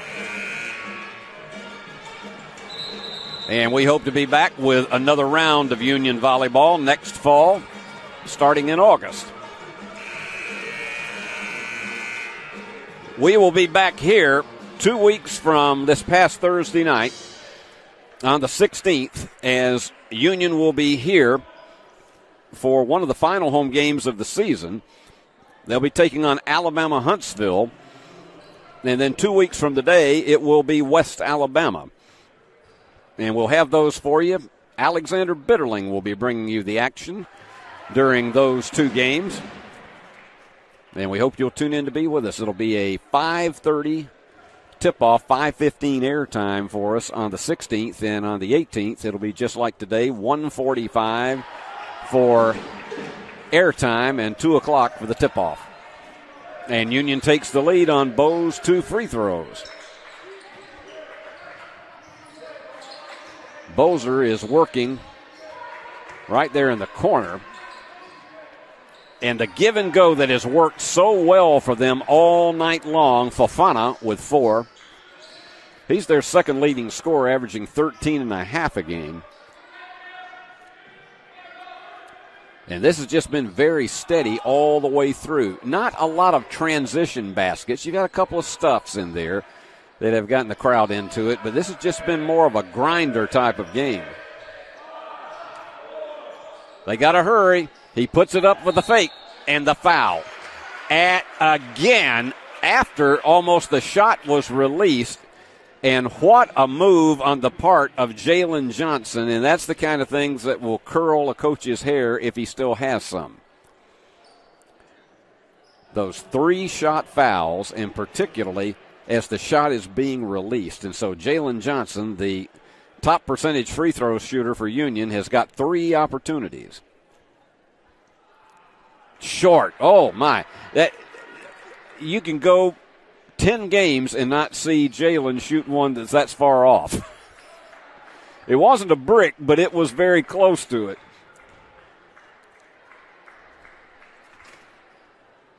And missing too. That that is that just does not happen. That's almost like what happened to Valdosta State's Taylor Searcy during the women's game, in which she just had one of her toughest free throw shooting days of the entire season and maybe her career because they just didn't fall for Taylor. One out of three to give Union the lead back at 37 36. As we approach the seven minute mark.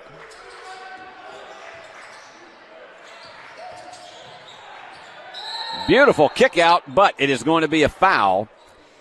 And it may be a good thing for the Bulldogs because they were open wide for a three. That one is going to be charged to Yordovich on the offensive foul. Seventh team foul for Union. It's actually the defensive foul. And so going to the line, loosening him up, getting those shoulders in very comfortable fashion is Ryan Black from Ocean Springs, Mississippi, a transfer from Holy Cross. I got to tell you, Coach Helfer has done an outstanding job of working the transfer portal to get so many of these young guys in here. And this to give the Blazers the lead once again. And we have had seven different lead changes.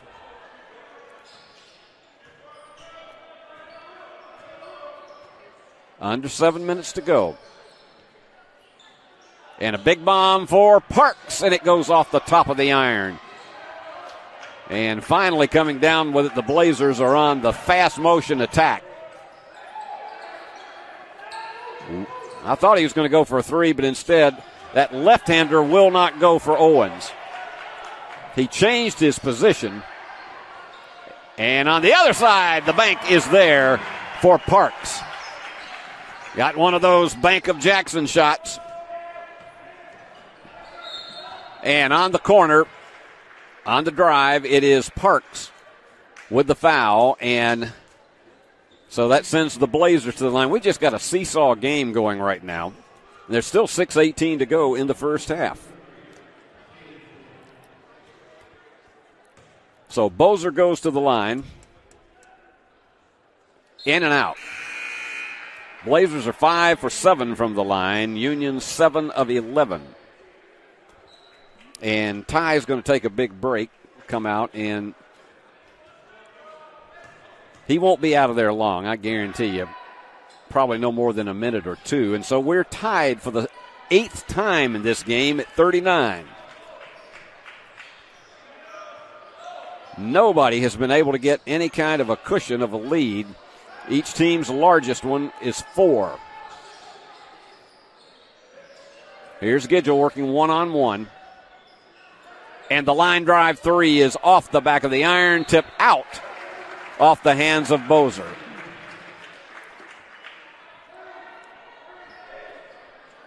So Union will play it with a new 20 and under six minutes to go.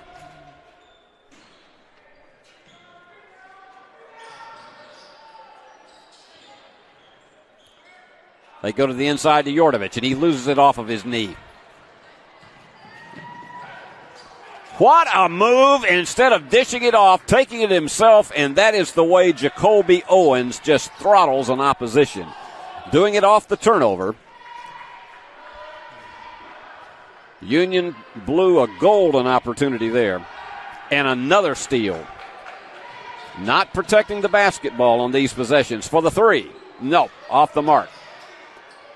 And just willing that one in was Fofana with six. Muhammad has had himself, when he gets underneath and he gets that head of steam, it is almost impossible to stop him. So the Blazers go back to matching there, and there's a beautiful block. Union recovers it.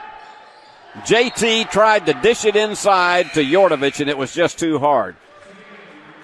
JT gets that head of steam going, and sometimes he gets a little bit too fast. And that was it. And so Union making three straight turnovers here. And this could give the Blazers an opportunity potentially for a three possession lead as we work down inside of five minutes. He thought about the three. Sarver's all over him. He's an excellent defensive player. Going for the bomb. No, way short. Sarver the rebound. Fofana just had no arc on that one at all. Quick release. In there. I'm not sure Prug thought that that was going to go because he was quickly getting underneath to try to grab the rebound, but Union cuts it back to within one. Trying an answer shot. It is there from 25 feet out for Bozer. 11 and he's got two three pointers this afternoon. And we're under four minutes, so we got one more media timeout to navigate. Prug is trying to find somebody to cut. Yeah, this is going to be it. The hook, soft curl hook goes through for Bo Gidgel. The bomb not quite there, and the rebound comes off this time to Johnson, and he'll take it a bit slower. Both these teams still could end up with 50. I said that earlier. Not, I was half serious about it, but it, it may happen. All right, watch Bo. He may try his backward move. He's got 12 seconds. He's going to work against Fofana. What a fake in the layup, and it doesn't go, but the tip is there. Great concentration on the part of Prue. How in the world Gidgel missed that layup, I will never know, but we are tied again at 46. The bomb. The three is right through the heart, the third one for Bozer. I think they are going to both have 50 when they go to the locker room. And it hasn't been that explosive because you haven't had a team to rip off eight, ten points in a row. Now here goes Gidgel again on the inside. And that was a bad dish off. And this is going to be piece of cake on the inside, and that was just simply getting behind everybody. And Selders has his first basket, and nine Blazers have scored. On the inside, jumper, short. And Union letting this one get back away from them a bit. Chance for the largest lead of the game. It goes out of bounds off of the knee of Jacoby Owens. And finally, we have a timeout with 2.02 remaining Blazers lead it 51 to 46.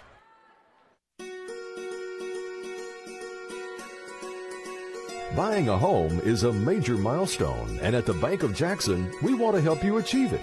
Our mortgage specialists can assist you with conventional, VA, FHA, or construction loans, as well as USDA and THDA development loans. Serving the Jackson area for 25 years. The Bank of Jackson, your down home community bank. You belong here. Member FDIC Equal Housing Lender. Well, Union with an opportunity to slow this one down, 51 to 46. They were in danger of going down seven on that last possession. And for the Blazers, Bozer and Rucker have 26 of their 51 points. Those two have more than half of the output for Valdosta. And for Union, Bo Gidgel with 10 and Ty Parks with 9. You got six each for Johnson and Sarver. This game's had a little of everything. You've had seven three pointers for the Bulldogs, five for Valdosta State. And you've had so much offense in here. Union shooting 62%, Valdosta State 61. Very few turnovers. Union's given it up six times, though, and that has led to nine Valdosta points. And Cowboy Curling making his official off court appearance. And we're getting under two minutes. And let's see what JT is going to try to do with it on this possession. Almost stolen. Eisler was right there and was wanting to go down the court for a no brainer and just went out of bounds. Union was 17 to shoot. I'll tell you, Parks wanted to let fly with the three, and he just goes for the big splash. He went through everybody. Back down to three. This is where, if you're a Union fan, you want to see a stop. And from the outside, the bomb is there. Owens just had too much time to set up. He has seven.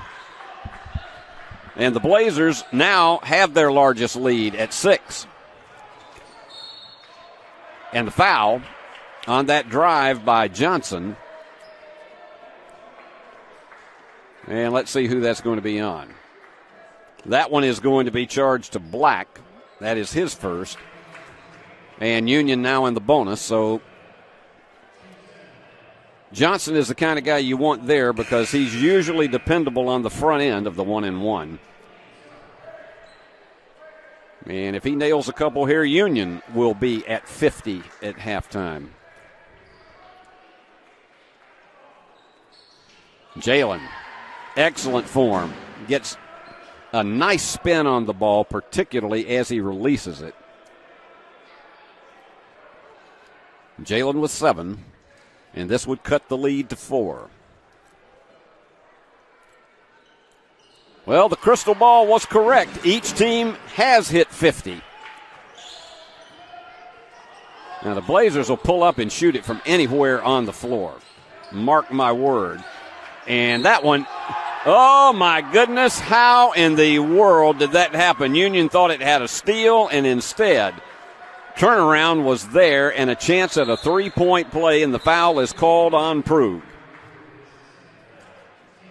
Each coach still has four timeouts remaining in the game.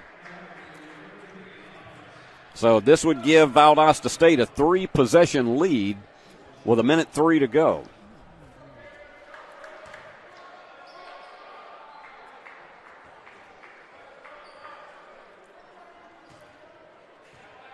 Selders is, again, not one who goes to the free throw line an extraordinary amount, but he cashed in there. So Union trying to close it back to a two possession game as they navigate this final minute of the first half. And, oh my goodness, now you saw that leg stretch on the part of Bo Gidgel, and I can imagine every Union fan in this arena was absolutely, it looked like almost it, could have been anything. I think he's okay. But that got stretched extremely far. It could have been a hamstring, it could have been anything else, but he's shaking it off, and I think he's going to stay in there. The foul is charged to Eisler, his first. So Bo, after Cowboy finishes his activity, is going to go to the line for two.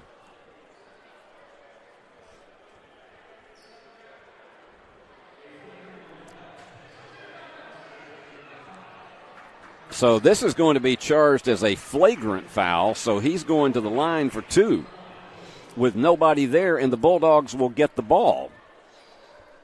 That is not what you would have expected. And Bo in and out. Well, when you have them like this, you've got to capitalize. Short. Oh, frittered away a golden opportunity there. Bo, two out of six at the line. Union will get the ball back, but they needed those. And timeout called by Valdosta with 50 seconds remaining in the half, leading 57 to 50 over Union.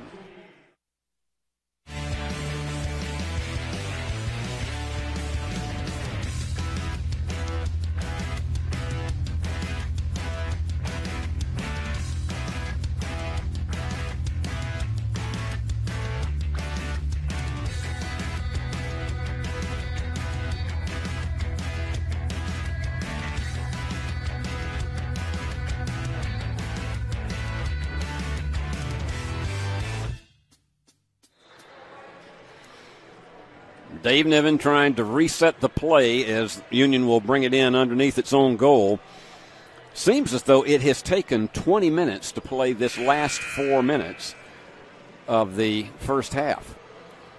And these two teams have played games before in which this was the final score, and we still got another 20 minutes to go after this.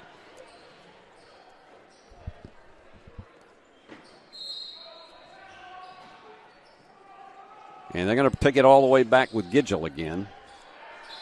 Shot clock had not started, and that's why they stopped the action. And the official is trying to yell to the scorer and to the timekeeper where to put it, and that's going to be with 17 seconds.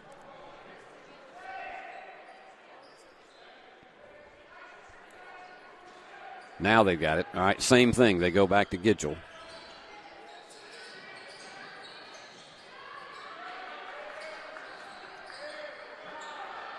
Down to seven on the shot clock. They have to hurry. They got to let that one fly. Yes! Just as the buzzer expired, JT knocks that one home. Blazers will play for the final shot of the first half. And what an interesting one it has been with more offense than you could ever possibly imagine. And Jacoby Owens just taking his time with it. Quick release on the three. Nope. And Union will not get one. That would not count as a shot because it came after the buzzer went off. So, what a half it was as Valdosta State leaves 57 53, scoring Bozer has 14 and Rucker 12 for Valdosta State. For Union, it is 11 for Ty Parks, 10 for Bo Gidgel, and 8 for Jalen Johnson, 6 each for Sarver and DeBuck. So that's where the scoring is right now as Union goes to the locker room trailing by four. Here at halftime, we want to introduce you to a young lady that we have enjoyed watching as a Lady Bulldog, and she transferred in here from Fort Hays State University, and she has been a delight. 33 points she's had in her last two games, including 20 this past Thursday night. Let's go to this special feature and meet Lady Bulldog Lauren West.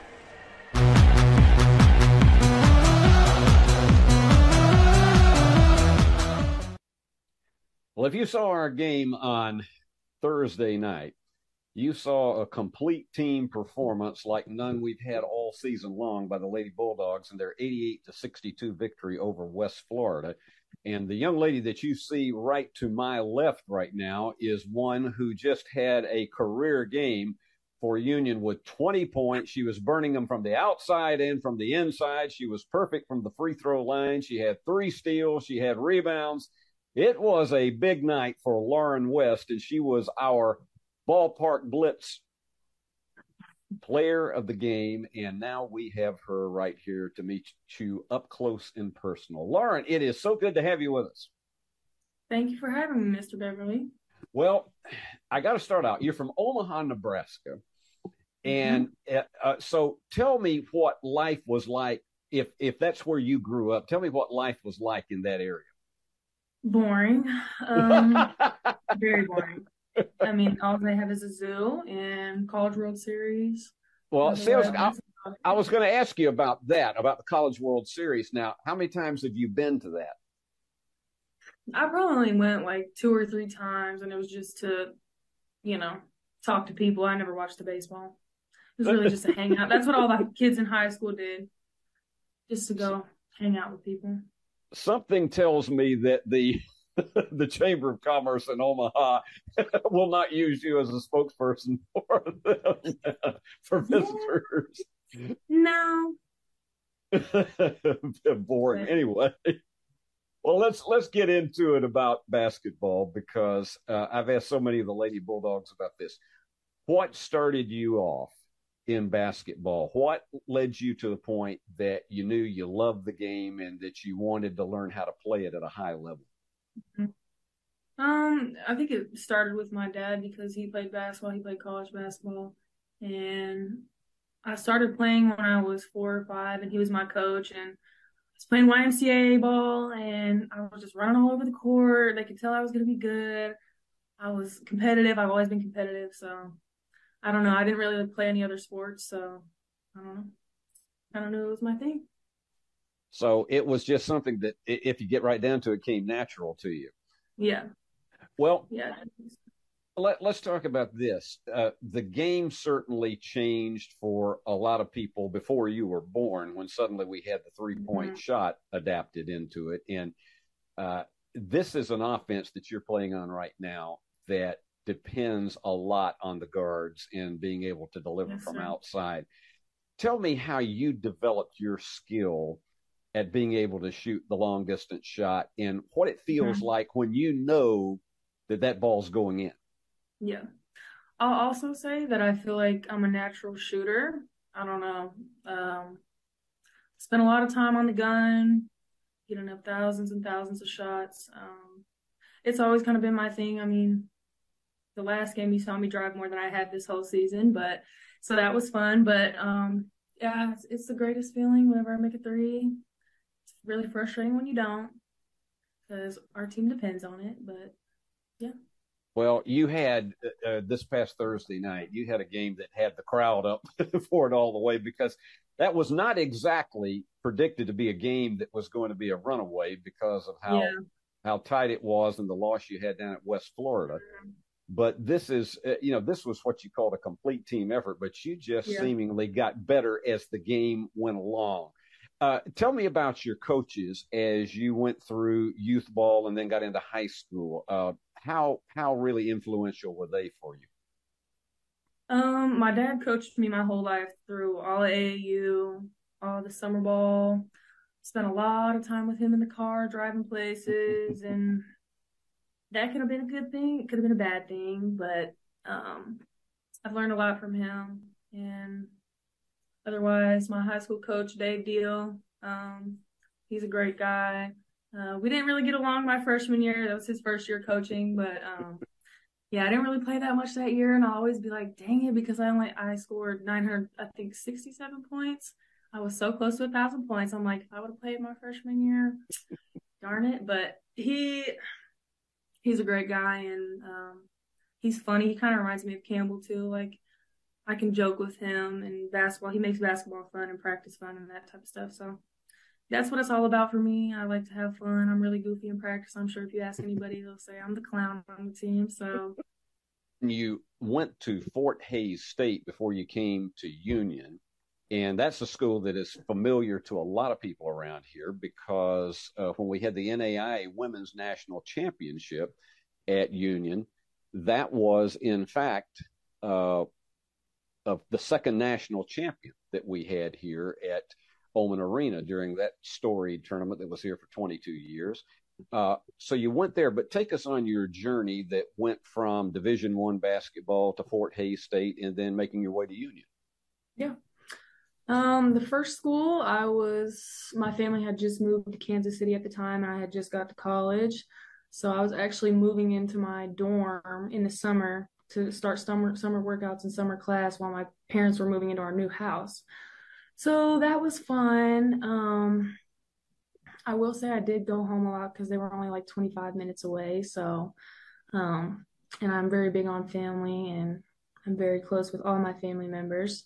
So, um, otherwise, yeah, I really liked the team there. It just wasn't, the school wasn't a good fit for me exactly. And then, yeah, I went to Fort Hays State. Um, I ended up there because he reached out. He was one of the first schools that reached out to me, and he had recruited me in high school, so I was familiar with him already. And um, I knew that they were a winning program, just like Campbell. The coach has been there for many, many years, and they win championships. So I was like, okay, let's try this out. And it's only like four hours from home, straight drive. Let's do this. And then Union, um, I'm so grateful that I ended up here. It's been a long, long journey. Um, I definitely will say this is the college experience I was looking for. This is the perfect fit for me, and I'm so thankful for Campbell and the opportunity he's provided me with. And I love the team. I don't have a bad thing to say about anybody, so I'm happy. Well, there are a lot of folks around here that are very happy that you made that choice to come to Union because not just for uh, the basketball, but for the education you have here. And, yes. and I know you've gotten to know many people since you've been here. Mm-hmm. Now, now, now, let's talk about family because you just mentioned that. Uh, mm-hmm. Take us through the uh, the entire family and tell mm-hmm. us how everybody fits into place uh, where they are. Mm-hmm.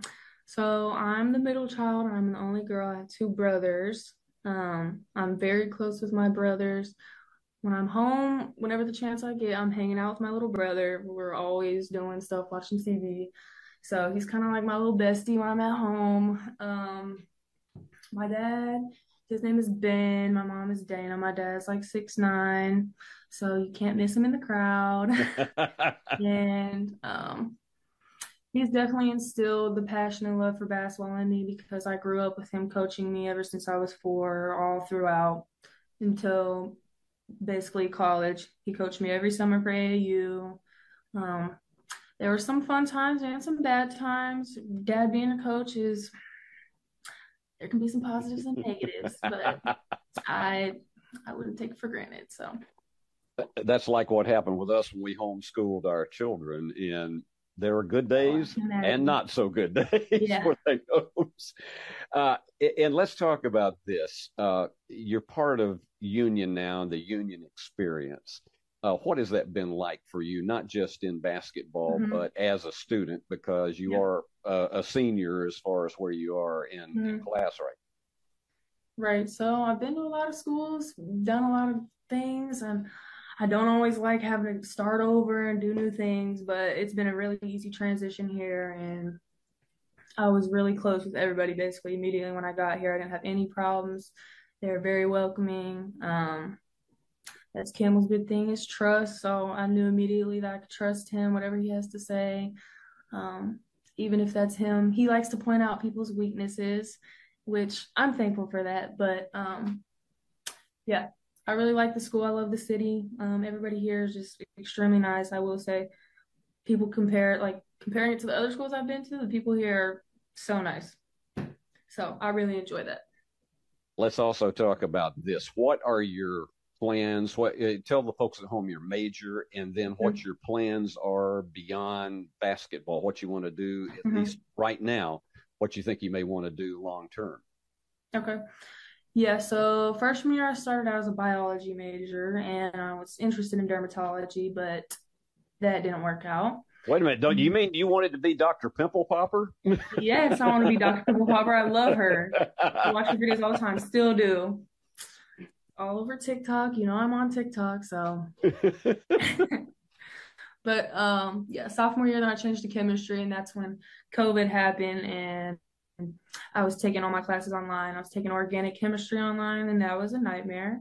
So that I was like, yeah, I'm not doing this either. So I was like, okay, nursing, that sounds good. My mom's a nurse. I know she enjoys her life, her job, all that. So and I went and shadowed somebody this summer. One of my neighbors, actually, he's a nurse anesthetist, and his wife is a nurse practitioner. And those are the two things I'm interested in. So I'm not exactly sure which one, but we'll see you may have the Lauren West Clinic before it's all over right. with. That's right. Why not? It, it, might be dermatology still. A nurse practitioner could be in you, a dermatologist's office. I would love may, that. You may have your own show on TLC before yeah. it's over with. There's a story behind that that I can tell you. As we wrap this up, tell us what basketball has meant to you as far as preparing you for what's ahead in life that mm-hmm. may have nothing to do with the court. Yeah. I mean, it's really been my whole life. Like, I feel like that's all I've ever done. Every single day revolves around basketball, which is fine because I love it. And, um, you know, I'm I'm interested to see how life is once I get done because I hear a lot of athletes that are played in college when they get done, they're kind of like, oh, like I feel like clueless and like empty a little bit without basketball. But um, you know, I've really appreciated my time and I'm looking forward to starting life and everything, but I definitely will miss like the team aspect and all the structure and everything. And basketball has taught me some amazing life lessons and how to work hard and grinding things out and trust, teamwork, all that type of stuff. So I'm forever grateful for all the lessons and coaches that I've had and yeah. Well, Lauren, we're grateful for your time today and, and talking with us about your life, your career. And again, correct, congratulations on that great performance on Thursday night against Thank West you. Florida. And we'll look forward to seeing you down the stretch. Wish you a lot of good luck for the rest of the season. Thank you so much, Mr. Beverly. I appreciate your time.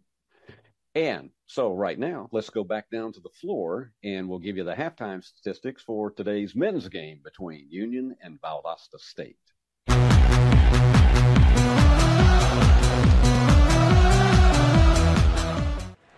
And here comes your ball game blitz. Sports Network stat line. Look at this shooting for these two teams. 64% from the field for Union, 63 for Valdosta State. Union 8 out of 12 for 67% behind the arc. The Blazers at 43, which is considered to be quite fine, 6 out of 14. Free throws, this is where Union has struggled. 9 out of 15 for 60%. This game probably be tied if they were a little bit better inching on that. Seven out of nine for 78% for the Blazers. Almost dead even in rebounding, 13 to 12 with Valdosta State the edge. Union has committed six turnovers, though, to only three for Valdosta. And here's your big factor in that four point lead. Valdosta with nine points off turnovers to only six for Union, and that's a big, big factor. So those are your halftime statistics and we are getting ready to start this second half. Remind you, upcoming a brand new show called Lightning Strikes here on the Ball Game Blitz Sports Network with your host, Coach Joe Holloway, and it will be coming up very, very soon, in which Coach will have a former University of Tennessee Vol who had a lot to do with a legendary fumble that made a big, big difference in leading the Volunteers to a national championship back in 1998. So, premiering soon here on the Ball Game Blitz Sports Network, Lightning Strikes with Coach Joe Holloway. And now let's get ready for this one because you had about enough offense in that first half to for an entire game. And let's see if they keep it up at this point. Will both teams end up 100 plus? Jalen Johnson getting ready to toss it in, and Owens will be on the guard. And here we go. Very few turnovers in this game, only nine, and we've actually only had 14 personal fouls called. Big three. And I think that absolutely Ty Parks knew that was not getting there the minute he released it because he was already headed down trying to get a rebound that didn't come. Owens working against Parks. And the tip in goes. It was Owens on the tip, so give him nine. So Union now down by six. The key thing they don't want to have happen is what happened. And here, back behind everybody. Give and go to Jalen Johnson. They don't want to have happen what happened on Thursday night against West Florida, where early on they started just falling apart and were 18 down suddenly. This game has been an even match most of the way through. And on the drive on the inside, and what a move by Fofana. That was almost a, a 180 for him. Big bomb. Johnson for the three. Jalen with 13 closes it to within three.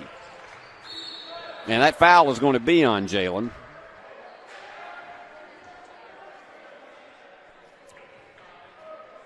So for Johnson, that's his second foul.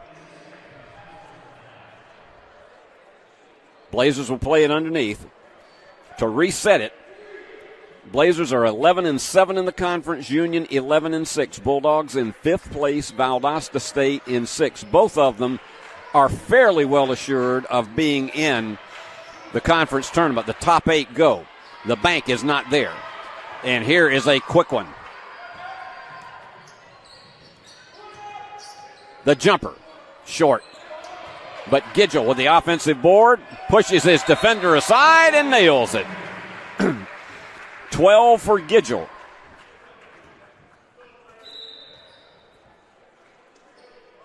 It's 61 60. Got an equipment adjustment here. In other words, tying his shoe for Yvonne Prug. So Union closing it to 61 to 60. Almost a steal. And Owens with the jumper. That line drive was short. Here comes Gidgel. Almost a palming. Oh my goodness, he was close to that. It is proved. It is not there. And Union saves it. The jumper for Parks doesn't fall. Two opportunities missed. Bozer the rebound.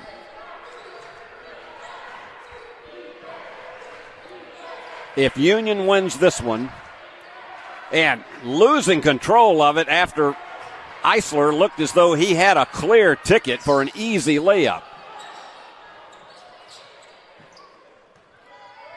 DeBuck will slow it back up. We're approaching the 17 minute mark remaining to be played in the game. And going for the lead. No. Off the mark. And losing that, trying to go behind the back. Hamilton thought he was fouled.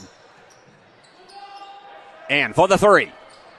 Cannot get the lead no matter what. And look at how Parks saves it. He would not be denied. And the foul. Bulldogs are playing with huge intensity. Now they got to get some baskets to drop.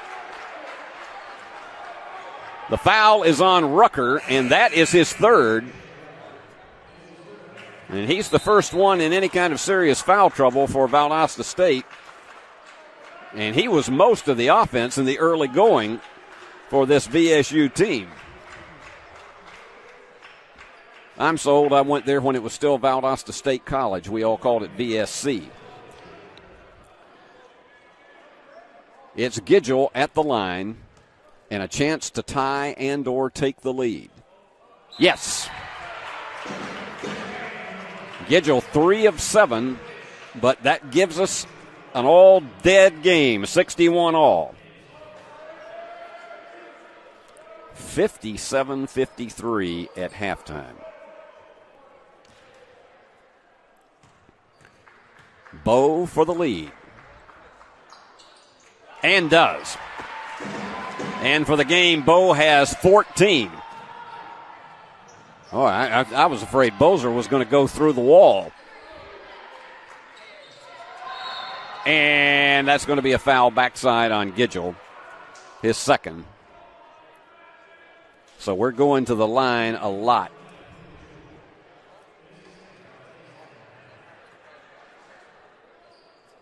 And this one is going to send Fofana to the line. He hasn't been there so far tonight, but he's a 77% free throw shooter. And short on that first one. So a chance to knot it again, and if he does, it'll be the 11th tie in this game. That's just showing you how evenly matched this entire contest has been. And he drops it through. Neither team is really going for a lot of full court pressure. Gidgel tried to take it all the way, and on the backside, the offensive rebound for Yordovich. And I'm wondering if something's wrong with Jeremiah Littlepage because I saw him just walking behind, and that's an offensive foul. I saw him walking behind the bench, and he was not out there to start the second half. We may not be able to find out during the course of the game, but we'll try to at least have some information on that because we haven't seen him come back. He, he took one to the thigh in that, say, about midway through the first half, and we just haven't seen him back in there. On the drive, Parks. He wasn't sure what he was going to do, but Johnson, no, short. But Parks, do they give it to him? Yes, sir. The turn and the fire, that got the bench up. And the foul is charged to Black, his second. And before the opportunity for the three point play will take a timeout. Union now into the lead 66 to 62. Stay with us. The Ball Game Blitz Sports Network by Worthy Road Studios. With over 750,000 views in 2022, we are where you need to advertise. Please subscribe to our Worthy Road Studios YouTube channel and join the other 4,000 subscribers watching local sports, including Union University, USJ, TCA, Jackson Christian, and Peabody. Our multi-camera broadcasts include slow motion instant replay, on-screen scoreboard and graphics, and professional announcers. Thanks to our sponsors who make it all possible. Ball Game Blitz Sports Network by Worthy Road Studios, the premier sports broadcast network in West Tennessee. Well, here we go again. Union getting off to a solid start here in this first four minutes and 15 seconds of the second half. And after trailing 57 53 at halftime, Union has gone on a 13 5 run to take a four point lead. And that thing that you just saw with Ty Parks was an absolute thing of beauty in the game. Ty with 13, Jalen Johnson 13, Gidgel with 14. So between those three, they have 40 of the 66 points delivered by Union this afternoon.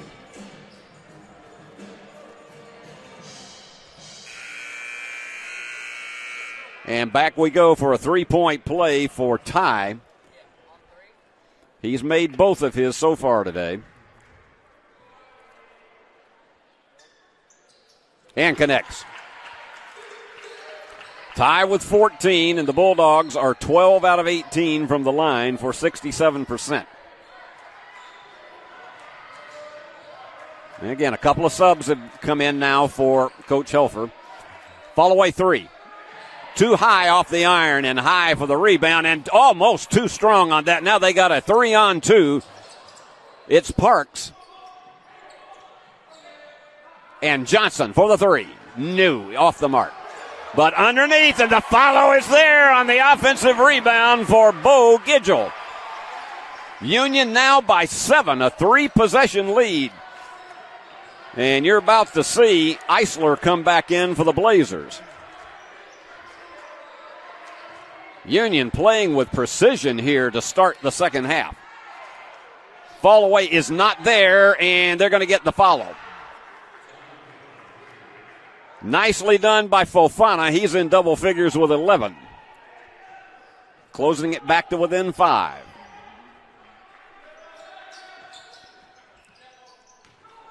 Parks, he wanted to get a turnaround, but there was just no room there whatsoever.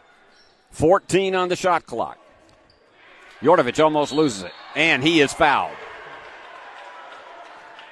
That's on Hamilton, and that will be his third. Rucker and Hamilton with three each, and so checking in now will be Eisler. So Union has a new 20, leading by five. Checking out of the game is Black.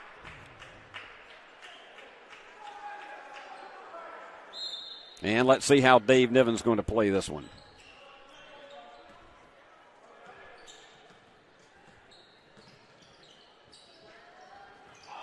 Trying to go to the inside with Gidgel. Fake, and the follow is not there. Yordovich tried to get it. They're not going to catch this one. That happened a couple of times in the first half, and nobody was going to catch up to Eisler. If you did, you were going to give him a three point play. So Union now with only a three point margin. They had this. There you go. And Gidgel could not get it to fall. It spun around like as the world turns, and it didn't follow. Now a chance to tie. And thought about going for the bomb. I think he's going to be considered to be over the strike. And nice job of saving that one by Gidgel. Big bomb. No. But Yordovich. And it is Parks. Yeah, that one was way left an air ball. So Union not terribly organized on these most recent possessions, and the Blazers have just tied it at 69 all after that bomb by Hamilton. This thing looks like it's going to be 100 to 98 potentially. It's been a long time since I've seen two evenly matched teams go at it offensively like this. Is like an NBA game. Turnaround. Jumper is there for Parks. Ty with 16. He and Gidgel have the same number. Bulldogs back up by two. They may have to have 100 for somebody to win in this one. They're all over it and traveling, double teaming the ball. And there was no way Eisler could get out of that situation. Bozer's going to come out. And coming in to give him a bit of a spell will be Rucker, who has been very, very quiet since early on. He had 12 points in the first eight minutes of this game. Union with a chance to stretch it back to a two possession lead underneath, and it was blocked and knocked away and saved. Excellent defense by the Blazers. Hamilton did a great job of keeping his balance. Boy, they are calling for it over on the side. Hamilton was wide open for a three, but he was picked up very quickly. The foul is going to be charged to Jalen Johnson, his third.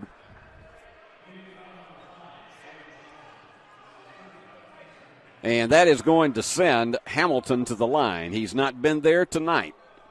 Blazers 8 of 11 for the evening.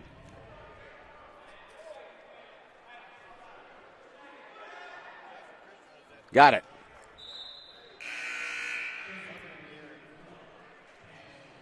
And checking back in is Selders, Cam Selders from Morgantown, West Virginia. He's a junior. And got it. So we're tied again.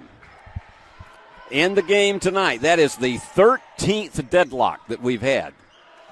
And we still got 12 minutes remaining.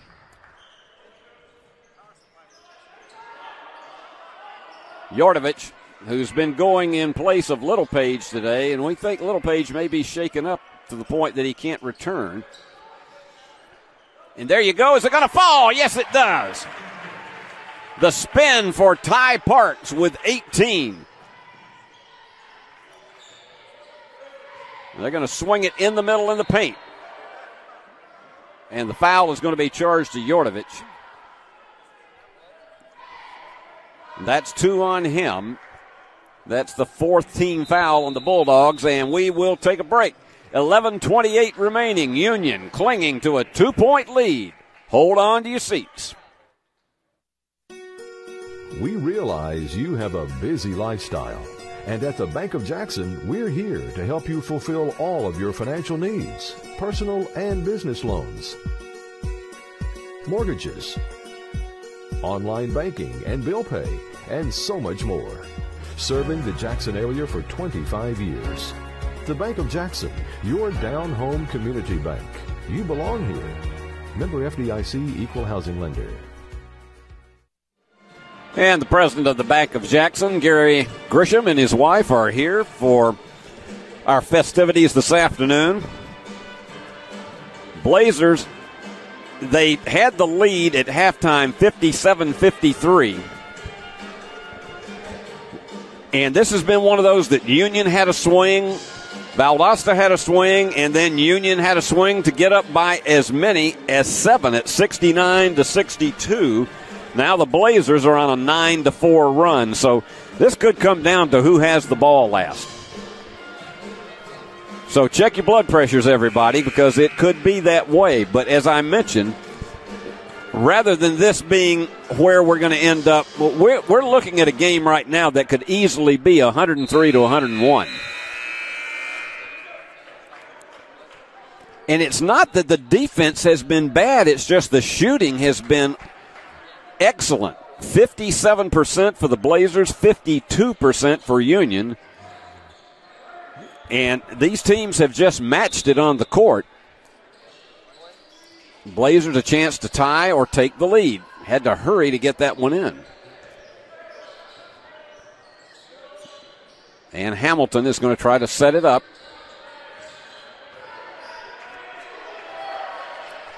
They're down to seven on the shot clock. Fall away is not there, and big rebound. And trying to take it is Johnson. And the foul.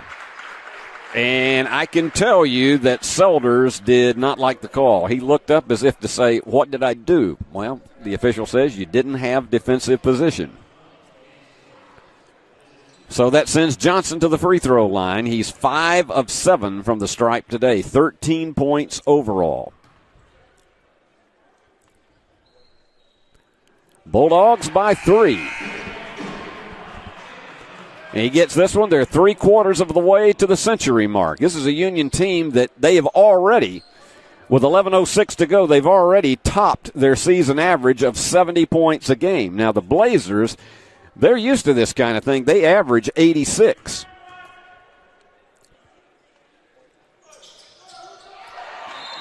He delivers. And 11.06 remaining and more subs coming back in. Black is back in the contest. He's got Rucker and Hamilton with three fouls, Union Johnson with three. We're under 11 minutes to go. This has been an offensive showplace tonight. Taking it right down the horn and the foul. Excellent drive on the part of Hamilton, sacrificing himself, and Prug will be called for his third.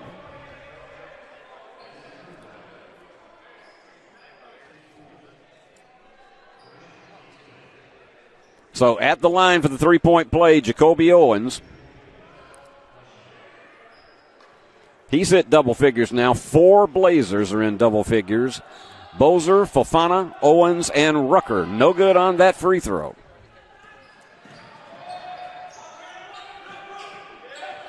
And here's Gidgel in the paint. Decides the fall away and cannot get it to fall. The tip just did not go in the direction of the Bulldogs. And a big jumping three is there. I mean, that was hop, skip, jump, release. Black with eight. And the Blazers are back on top. 76 75, our 14th lead change. Wide open for the three. Yes! Johnson, once again, he has 18. That's his third three pointer. Owens had it tipped, but they follow it on the inside. That is probably going to be Prug's fourth, unless they called it on Johnson. Oh, that's the fourth foul on Prug, so they're going to get Yordovich back in there very, very quickly. Ty Parks will be checking back in. Did not get much of a rest because of these two quick fouls on Prug.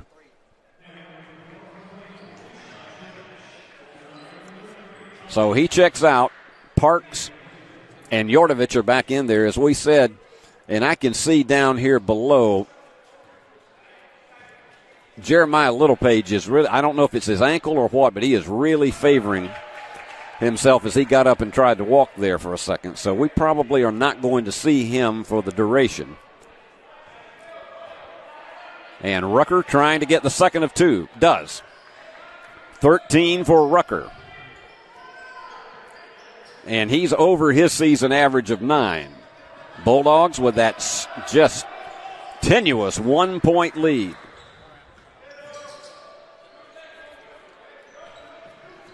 Eighteen to shoot.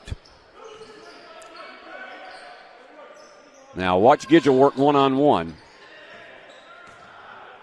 He has so many spin moves that he could go to and tried to force it. Yep, that one just forced. Bo thought he was fouled, but official says no. Trying to go for the lead once again, the Blazers. We have been up and down in that category, and that one's short. But Selders high for the rebound. That was actually Black. Underneath. And picking it up is Gidgel off the steal. Turnover number eight. The home run and the foul to break that one up.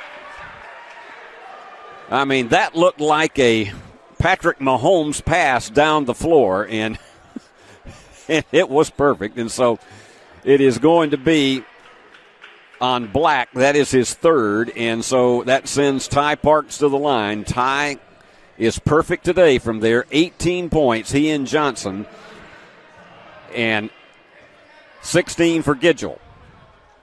We still got nine to go. He's got it. This to give the Bulldogs a three point lead. Man, nine. Here we are, nine minutes to go, and a chance to hit 80 already. This guy wants the ball at any time of the game, but particularly if it's on the line. Got it. He has perfect form, five for five today. But this is one of those, as we say, biggest lead for each team has been seven points. Chance of defense coming across the house from the Bulldog fans. Down to 12. There's Bozer going to try it on the inside and the foul. No, is it a foul or a timeout? It looks as though they're calling a foul, and that will put the Blazers in the one and one. Bozer goes to the line. He's one of two today. He is their top free throw shooter at 90%. So chances are these two are going to go through. No, yes. Just got some spin off the front of the iron.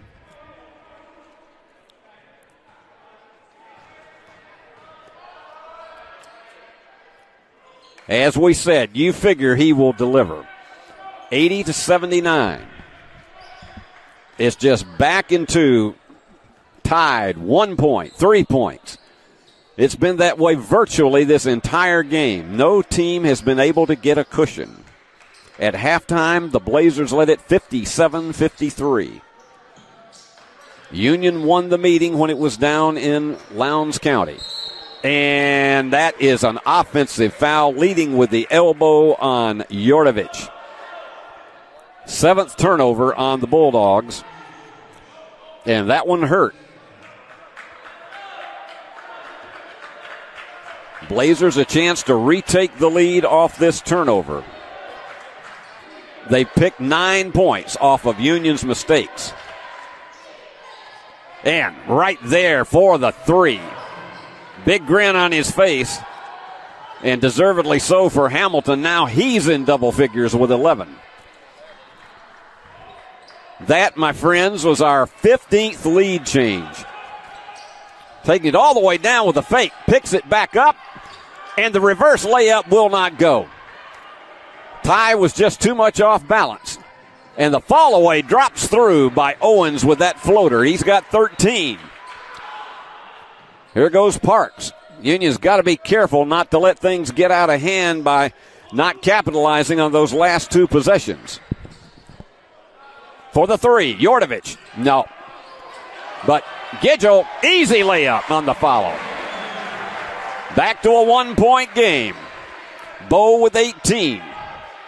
Wide open. Nobody picked up Bozer, but he missed it, and Gidgel had it snatched right away by Black.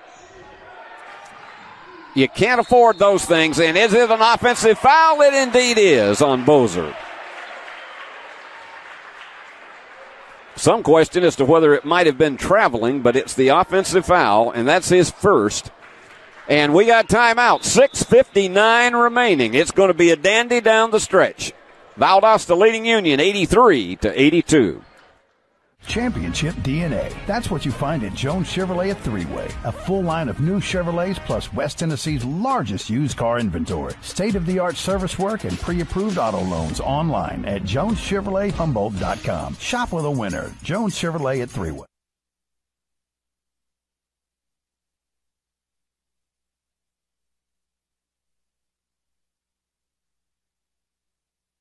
All right, we're back here. 83 to 82. We have had 15 lead changes, 13 ties in this game. Nobody's had a lead of larger than seven. And uh, this has been, I think, for for what it's worth, this has been the most collective offensive outburst that we've seen for two teams together during the entire season as I mentioned, the way the offense has been flowing for both of these teams, this is almost like watching an NBA game. Blazers, so far 56% from the floor, Union 50. Three pointers, Blazers 8 of 21 for 38%, Union 10 of 23 for 44. And in free throws, Union 73%, Valdosta State 72, Union the edge in rebounding 28 to 27 turnovers. Valdosta 9, Union 8. That's about as even as you could possibly have it between two teams. So Union will play it all the way back down at the opposite end with 6.59 remaining. But this has been a fun game to watch because it's not been one of those that you simply have seen a team, you know, one of those 52 to 49 type of games. This has just been one where the offenses have been clicking well. High lob. And it doesn't go. He tried to get it inside to Parks, and there were too many hands to break it up. You're taking a gamble when you got three players underneath with the capability to knock that one away, and they did. Going for the bomb. No. Too far left, but way in there, Bozer. Could not get it to fall. And Yordovich somehow comes down with it. He had double teaming all around him. Big high. Nah, too high. Now, I got news for you. Ty didn't have a trampoline down there, so you, you couldn't expect him to come up with that one. And I'm not sure that Niven was too happy with that call because, number one, the pass was not timed well, and the other part of it, I think he would have rather had just a conventional play. So it gives the Blazers another opportunity. And taking it to the inside floater is there. That's almost unstoppable when Owens gets in that position. Back to a three point game at 85 82. Union's tempo has slowed down somewhat, almost stolen, and it is. And that's going to be no stop. They didn't call one on Yordovich, but Union giving it up off the turnover, and now it is danger zone time. Parks will go to the line for two, and they'll certainly take it, but Union needs some stops. You get down late in a game like this, and you suddenly find yourself down two possessions. Then you're back to climbing the ladder, as this team had to do against West Florida. And it's an interesting thing. Union beat West Florida and Valdosta State on their floors, but lost to a West Florida team on Thursday night and is now down five to Valdosta.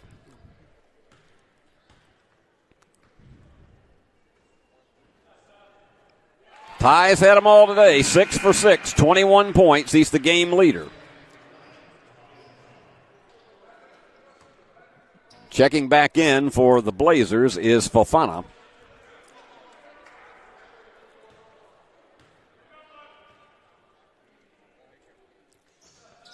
Got it. Seven for seven for Ty, and timeout called by Dave Niven. 5.27 remaining. Blazers on top of the Bulldogs, 87 84.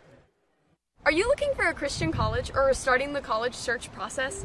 I want to take a second to tell you about my school, Union University in Jackson, Tennessee. Union is a private four year university known for its rigorous academics, Christ centered community, and the success of its graduates. My favorite part about Union is the faculty.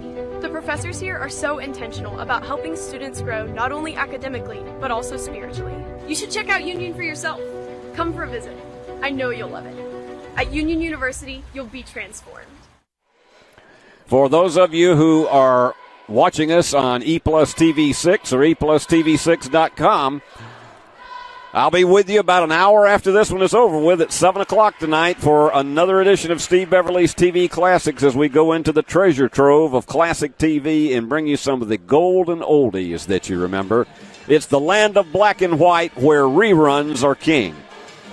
So join me for Steve Beverly's TV Classics, 7 o'clock tonight and again tomorrow night at 7. Right now, we're looking at an instant classic, at least the way this game has panned out. Valdosta State on top by three. It has gone back and forth, as we say, 15 lead changes in this game, 13 ties. Nobody has been on top larger than seven. So the big key in this one is teams that can protect the basketball. And Union, uh, the turnovers have been almost even. Union's given it up 11 times, and the Blazers nine.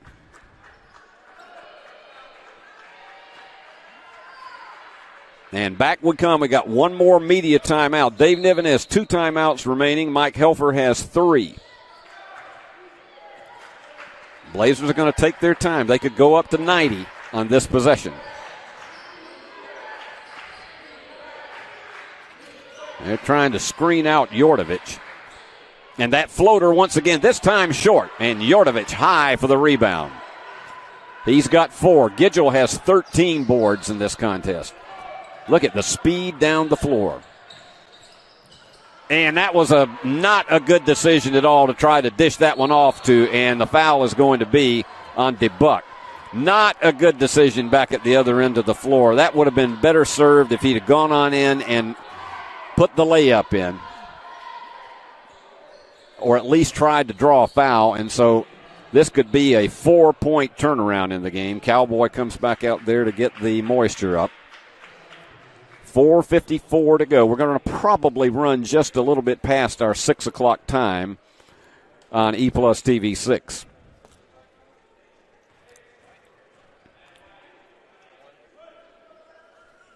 Off the back of the iron for Owens. He's missed both of his so far today. 65% free throw shooter on the season. But this one does not fall either. So it's still a one possession lead. Down to the 445 mark. One team can fall behind five, six points and a quick reach in foul. And that is going to send, let's see who's going. It's Parks back to the line. The next foul for each team will put the other in the double bonus. For this one, Ty has got to have at least the front end of the one and one. Bulldogs 18 of 24 on the day. No. But the rebound, Yordovich, and it falls. Yordovich is there with a crucial offensive rebound. And he has gone a long time in this game without the services of Jeremiah Littlepage. Big bomb three. No, off to the right. Bulldogs a chance to retake the lead. If they do, it's our 16th lead change.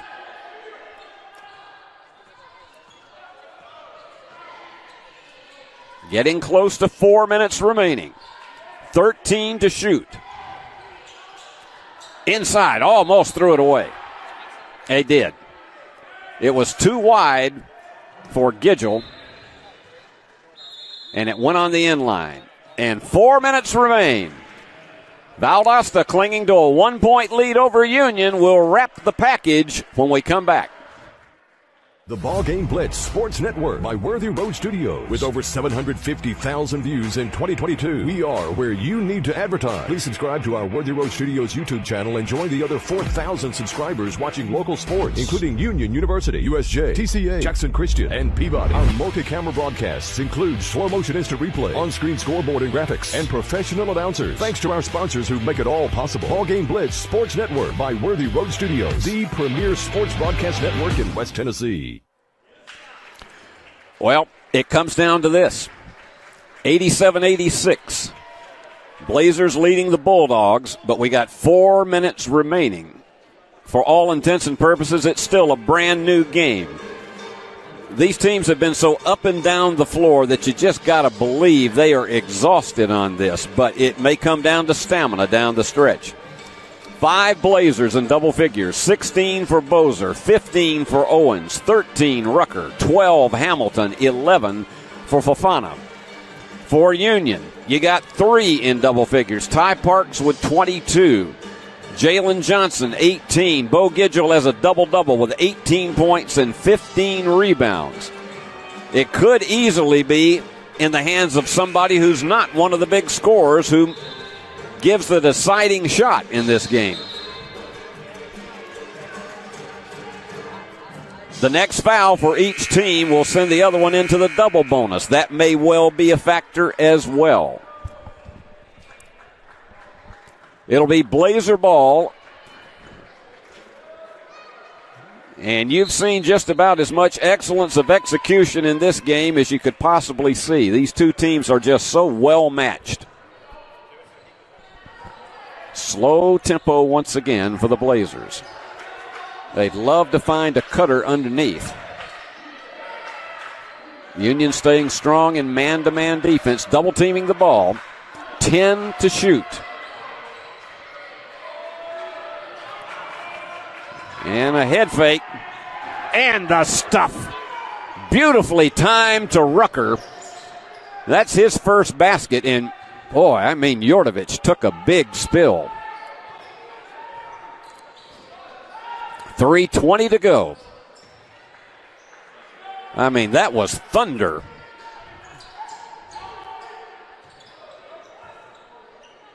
Inside to Gidgel. Working one on one against Fofana. And his floater goes. 89 88. DeBuck picks up Hamilton very quickly. Rucker and Hamilton playing with four fouls. Yvonne Prug is on the bench with four. They once again have to guard against that cutter who gets on the inside and lets one fly. Seven to shoot. Big bomb. No. But they get the offensive board. Union not fast enough on the dance there. Thought about the three. Instead, goes to, and nobody picked up. Fofana 13 points, 91 88. We got 2.13 to go. Check your pulses, everybody. Union hasn't had a three in a long time in this contest. And the reach in foul on Fofana, and that will put Ty Parks at the line for two. 202 remaining. Parks on the day, 22 points, 7 of 8 from the free throw line. He's done everything you could ask somebody to do in this game. This will get very quiet. 91 to 89. We will watch this one again with you once Ty tees it up.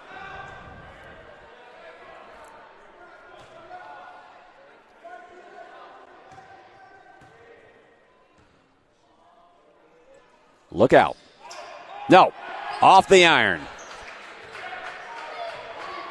Still a one possession game at 91 89, less than two, but now every possession so critical. And trying to take it all the way inside was Owens. 14 to shoot. Fake the bomb. Seven to shoot. Big one. No, that's nowhere close. But they managed to get it home. Big one. It's a two possession lead at 93 to 89. And the foul on the inside on Bozer. Only his second. That puts Ty Parks back in there again for two more. But they've got to have at least one of these because you got to keep it to a one possession game.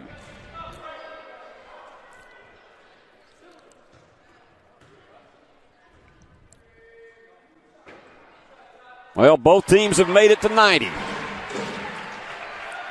Union's on the short end of it at 93 to 90 with 83 seconds remaining. Parks with 24. This is an important one. Got it. Timeout called. We'll take it to one more break. Union trailing Valdosta 93 to 91. It's going to be a dandy and the finish.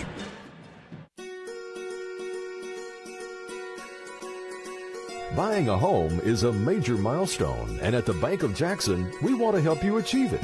Our mortgage specialists can assist you with conventional, VA, FHA, or construction loans, as well as USDA and THDA development loans. Serving the Jackson area for 25 years. The Bank of Jackson, your down home community bank. You belong here. Member FDIC Equal Housing Lender.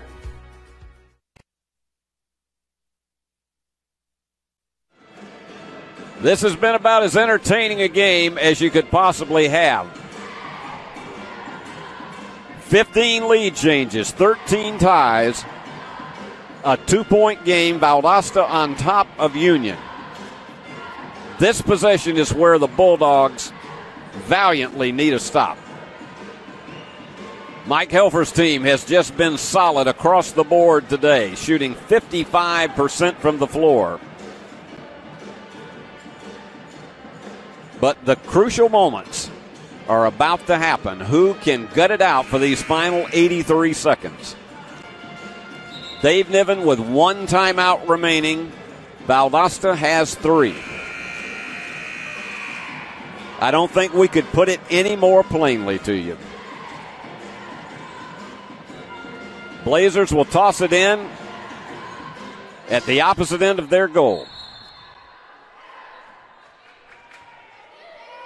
If Union commits a foul, you put them on the line for two.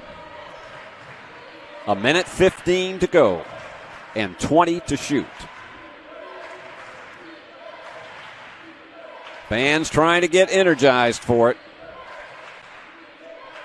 Long dribble. And it went to the floor. No call. Thought about the bomb. Two seconds left. They got to go. No, well short. Union the rebound. I think they virtually lost track of how much time was left on the clock. 43 seconds. Parks to the inside, and the layup will not go in overtime. DeBuck knocked away and off the hands of Parks, and Ty knew it. Union loses the opportunity to get that emotional lift, and now it's in the hands of the Blazers.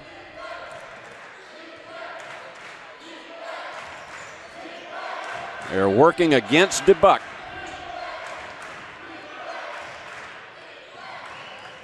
Thought about it. Now they go for the corner. No. High for that rebound is Parks. Ty with five rebounds.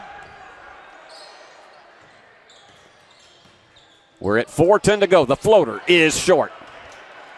Try that one handed floater in the paint, and it just would not fall. Bozer wanted to go for three, but didn't. That one's kicked away, and I don't think Union can pick it up. And they say it went off the hands of Gidgel. I think Bo's trying to argue that he didn't touch it. But they're not going to come over and look at it. We're under four. No one has scored in overtime.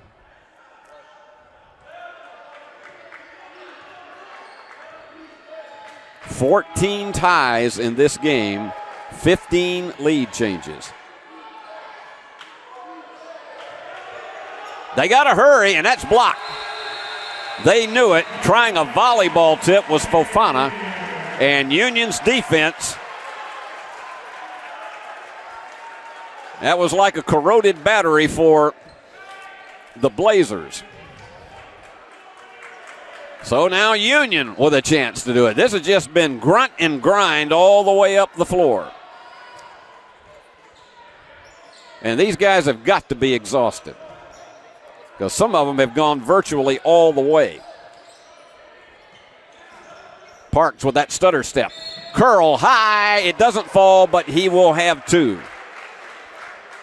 I'm telling you one thing. That guy is probably going to take a couple of Tylenol and he's going to get a whirlpool or whatever he needs tonight. He has been, I mean, it's been amazing. Ty with 27 points.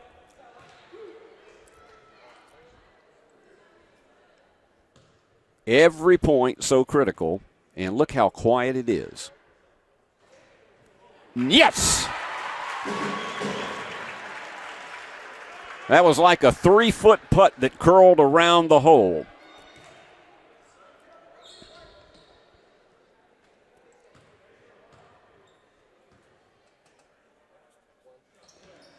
Union by two, Ty with 29.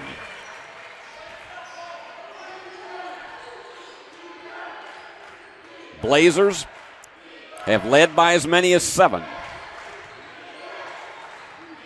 This is Bozer trying to work the inside against Parks and does.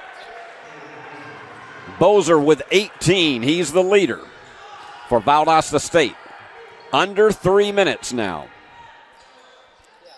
Each team gets an additional timeout in overtime, so Union has two. It is Johnson. Nope. And is it an over the back foul? Yes, it is. So Gidgel goes to the line. Let's see. Is it? Yeah, I believe it is Gidgel that's going to the line. And that's it for Rucker. He leaves the game with 17 points, 12 of them in the first half. But this team has a deep bench, so don't think that they're losing a huge amount because they got some guys that can rip it up from anywhere on the floor. But right now, it's some so critical for Gidgel. Yes. Bulldogs back up 96 to 95.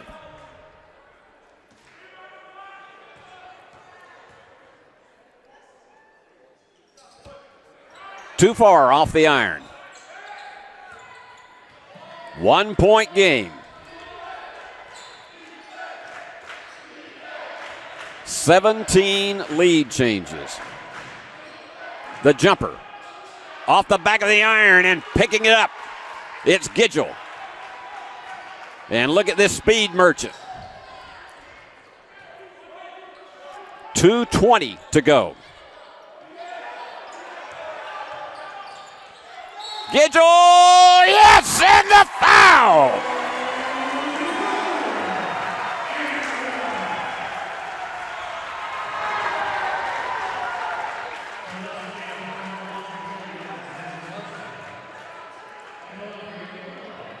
Gidgel with an opportunity at a three point play. He has 23.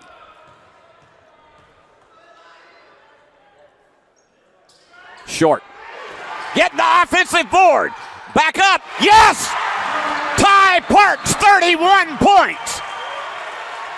Timeout Blazers. Union 100. Valdosta 95. Now remember, we got 210 remaining. We're going to keep it right here. Woo! What a job on the offensive boards by the Bulldogs. Listen at this place. Well, just as we said, listen at this place, they quit. oh my goodness. 100 to 95. Union with critical offensive rebounds. Let's listen at them.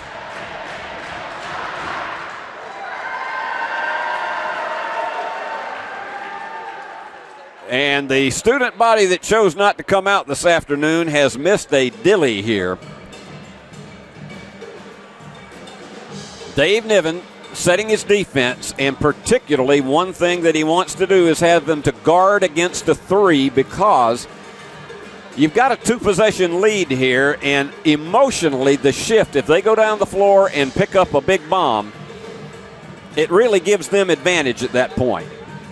Valdosta State had a chance to win it in regulation, and it was knocked away. It was 93 all, and Union now with a 7 to 2 run here in overtime. Niven taking all the time that he possibly needs. He has only one timeout remaining. The Blazers have four.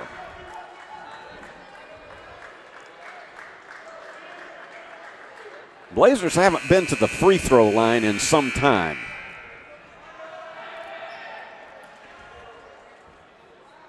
All right, let's see how Coach Helfer plays it. They're bringing Gidgel up front. The officials are talking it over. It'll be Owens to toss it in. Now Owens will retrieve it. Okay, here we go. Getting close to the two minute mark. Clock is not moving. Clock is stalled at 201. Now it goes 201. This is about the third time today they have had a clock problem. All right, I'm looking at the other end. One clock says two minutes, the other one says 201. And you would know this would happen here in overtime. Oh, my goodness. Now they're talking it over with Carlos Spencer, the veteran clock operator. So they're going to discuss, they're going to bring it over to the other side for the Blazers to play it.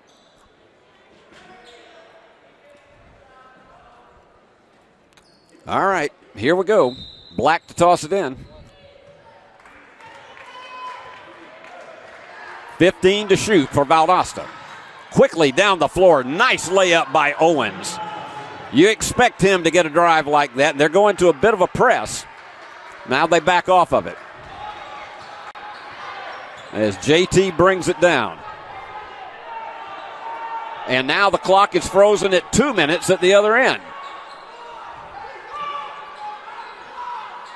Inside and losing it. But retrieving it, the fall away, and now the question is is it an offensive foul? Yeah. And Niven doesn't like it one bit. And the clock again is not in sync. And they got to come over here and try to get this sorted out. Let's sort it out. And while they try to get the clock settled, uh, we'll take a quick break. We'll be right back. The Ball Game Blitz Sports Network by Worthy Road Studios. With over 750,000 views in 2022, we are where you need to advertise. Please subscribe to our Worthy Road Studios YouTube channel and join the other 4,000 subscribers watching local sports, including Union University, USJ, TCA, Jackson Christian, and Peabody. Our multi-camera broadcasts include slow motion instant replay, on-screen scoreboard and graphics, and professional announcers. Thanks to our sponsors who make it all possible. Ball Game Blitz Sports Network by Worthy Road Studios, the premier sports broadcast network in West Tennessee. Well, here we go, and now both clocks say a minute and 25 seconds remaining, and I don't think that's right. And that's what they're having a discussion about. And Coach Helfer is discussing it with one of the officials. It seems as though an awful lot of time went off on the clock, but it's saying 125. And here they go, and the clock is still not moving. Well, that's because he didn't pick it up. Well, regardless, there's a minute 20 to go and trying the same kind of drive. Open for the three. No. But there's Owens for that offensive board. Look at that spin move he had. Boy, and Bozer has it blocked by Ty Parks. He was trying to, that was actually Gidgel. He was trying to get that in timeout called by the Blazers. They got 12. We're going to keep it here. 12 on the shot clock, a minute six to go. 100 to 97. Blazers with a chance to tie this one in overtime. My goodness gracious. Let me run you scoring down on this. 18 points for Bozer, and he's had three threes in this game. 17 each for Rucker and Owens. Rucker is on the bench with five fouls. 13 for Fofana and 12 for Hamilton, who has four fouls. Over for Union, the game leader, Ty Parks, 31 points. He's 12 for 14 from the free throw line. He's added six rebounds and four assists and a blocked shot. Bo Gidgel with 23, 9 of 16 from the floor, and 16 rebounds. He's had a double double today. He's had a couple of assists, a steal, and two blocks. And then 18 points for Jalen Johnson. He's had three three pointers, seven of nine from the line, and he's had three assists. This is one of those that makes your heart feel like it's dropping into quicksand. Woo! This reminds me of the old days of pro wrestling when they would do 60 minute draws. And you'd have all you'd have both guys that would get into pinfalls and it would be one, two, and then all of a sudden the shoulder would come up. That's about the same way this one is. Let's see how they play it. 10 to go. A minute two on the game clock. They're going to have to hurry now with one. They put it up. Yes! Right at the end of the horn, it was Owens. He has 20. We are tied at 100. Well, I said this one might be 103 to 101. Here you go. One on one. Double team, and the bank is there for Parks. 33 points for Ty Parks. The bank is not there, and the rebound comes off to Gidgel. His 17th rebound. Union does not have to shoot, and they lose it. Oh, my. And this is going to be a wide open one for Owens. Yes. It's 102 all with 16.7 seconds remaining. Oh, my heavens. Union didn't even have to shoot the ball and lost it and going to the line for a three point play. And to give the Blazers the lead, it's going to be Hamilton. You talk about drama, you got it right here. And Union will likely have the final possession to try to win this thing in overtime, and timeout is called. Now let's look at this. If you are Union, you naturally would say you would hope it would be in the hands of Ty Parks back down the floor because of the day that he has had. But so many times when you have overtime situations and it comes down to the final shot, it may be somebody that you least expect. Now, Jalen Johnson has had a strong day today with 18 points. You could feel good about him getting the ball and maybe trying to get an open three to win it. The thing about it is, is that Union would not have to get a three. They could win it with a two. So that opens up the bounds for just about anybody. But the key thing is protecting the basketball, which they didn't do. This game could have been theirs, and they could have just eased the game out and perhaps maybe drawn a foul. But now the Blazers have an opportunity to take the lead. And one of the five guys with double figures in this game for the Blazers is going to be on the line. And instead, it's Owens. It's not Hamilton. Owens with 22. Bulldogs have no timeouts remaining, and so Dave Niven basically set his offense in that break. Here we go. This for the lead. You knew it was coming. Owens with 23, and now the Bulldogs with the last opportunity, trailing by one. It's Gidgel. Down to eight. The crowd is counting it. Turning around. Parks has it blocked, and they're not going to get it. The clock expired, but traveling is called. So they're going to have to look back and reset this clock. Blazers think they have won the game, but I have a feeling there's going to be something in the neighborhood of 1.6 to 2 seconds left, which means you throw it in and get a prayer. 103 to 102. And the officials are going back over to look and see where the clock was whenever the ball went out of bounds or when the traveling violation was called. Now, to be candid with you, it'll be a gamble, but Niven is trying to draw up the play as to where it's going to go. Ty Parks, what a great afternoon he has had, and it was just a killer to see that shot blocked from behind.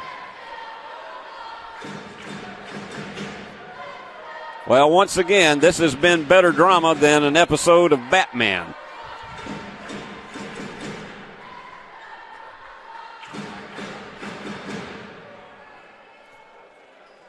It seems like it was six months ago that the Lady Bulldogs won 88 to 62. All right, they've made their decision. It will be Union's ball.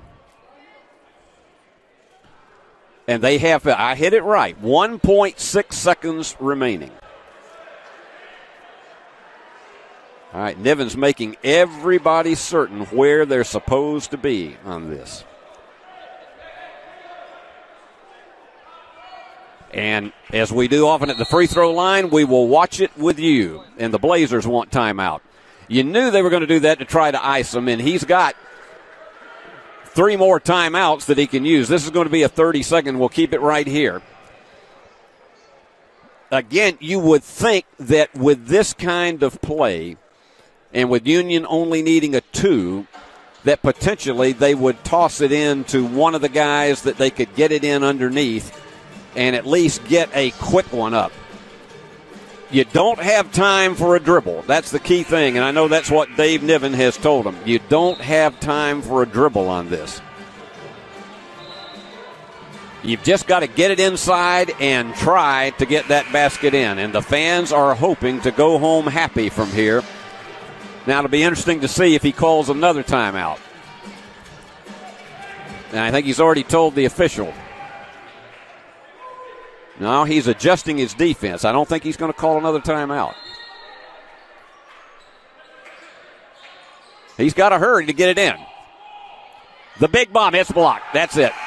Blazers win it 103 to 102. Where that ball went to Jalen Johnson would have been, that would have probably been about a 30 foot shot way outside of his range. And so heartbreak for the Bulldog fans and thriller finish, the thrill of victory for the Blazers. It was again an instant classic, 103 to 102 as the Bulldogs go down to defeat in a game that had 18 ties and 19 lead changes.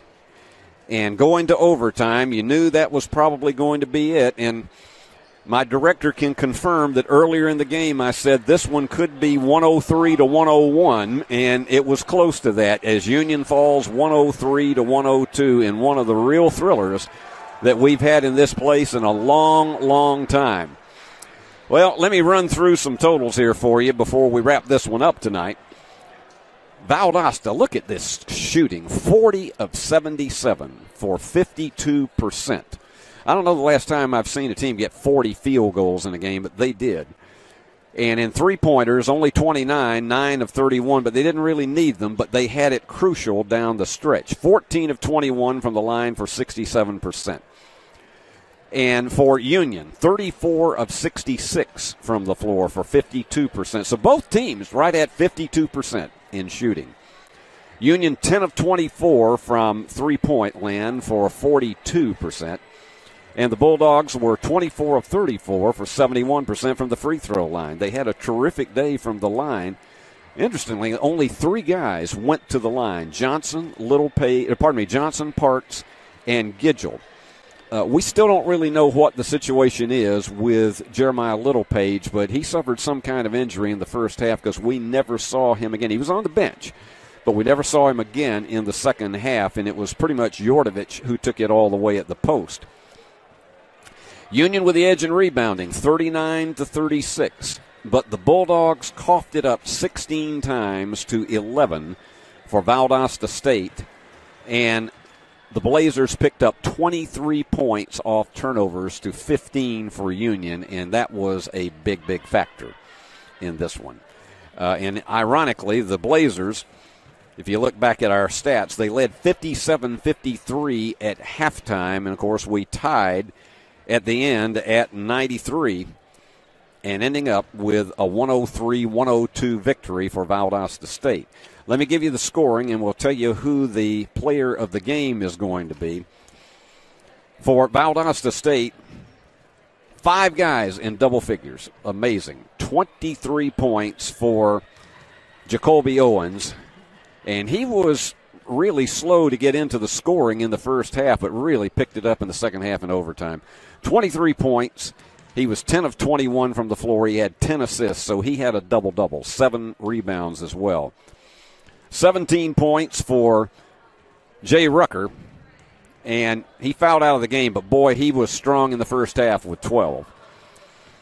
And then 18 points for Bozer. He ended up with four rebounds as well. And then 13 for Fofana, Mohamed Fofana with 13 and seven rebounds. And then Hamilton with 12 points, and he had four rebounds and three assists. So you distribute to those five. For Union, it was largely the three big guns and 23 points for Bo Gidgel. He was 9 of 16 from the floor. He had 17 rebounds, 23 points, 17 rebounds. He, he left everything on the floor himself. Uh, it was 18 points for Jalen Johnson. That final pass to him and the shot got blocked going for the three. And it was really one of those situations. Had it gone in, if he'd been able to release it and gone in, of course, the place would have erupted. But it was a very, very long shot. They really skied that one a little bit too far outside. But Jalen had a terrific night, seven of nine from the free throw line. Then Ty Parks. What else can you say about him? 10 of 18 from the floor, 12 of 14 from the free throw line, six rebounds, four assists, 33 points for Ty Parks. What a tremendous night that he had, and there was just no other getting around it. But we always try to give the winning player of the game from the Ball Game Blitz Sports Network to the winning team, and certainly I think you have to give that one to Jacoby Owens.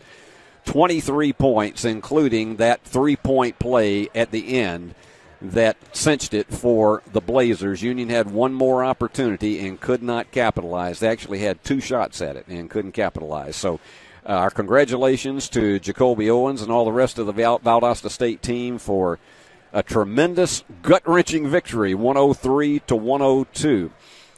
In case you just joined us, you missed that thrilling men's game, but Lady Bulldogs won 74 to 54 over Valdosta State, so they're only a half game out of the standings for first place in the Gulf South Conference after two excellent wins over West Florida and Valdosta State.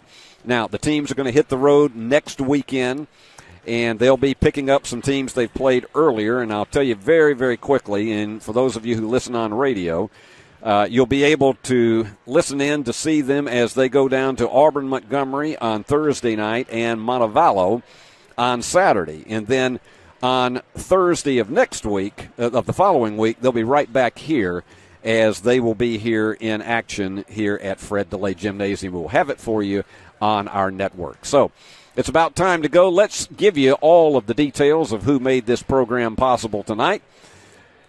Adriana Bolin, Eric Inman, Alyssa Tatch, and Olivia Barlow on camera our ever cool, ever present director, Christopher Reasons. The game was produced by Paul Schultze and yours truly, Steve Beverly. And our executive producer of the Ball Game Blitz Sports Network is Paul Schultze. Until we're with you in 10 days, this is Steve Beverly saying so long from the great hub city of West Tennessee.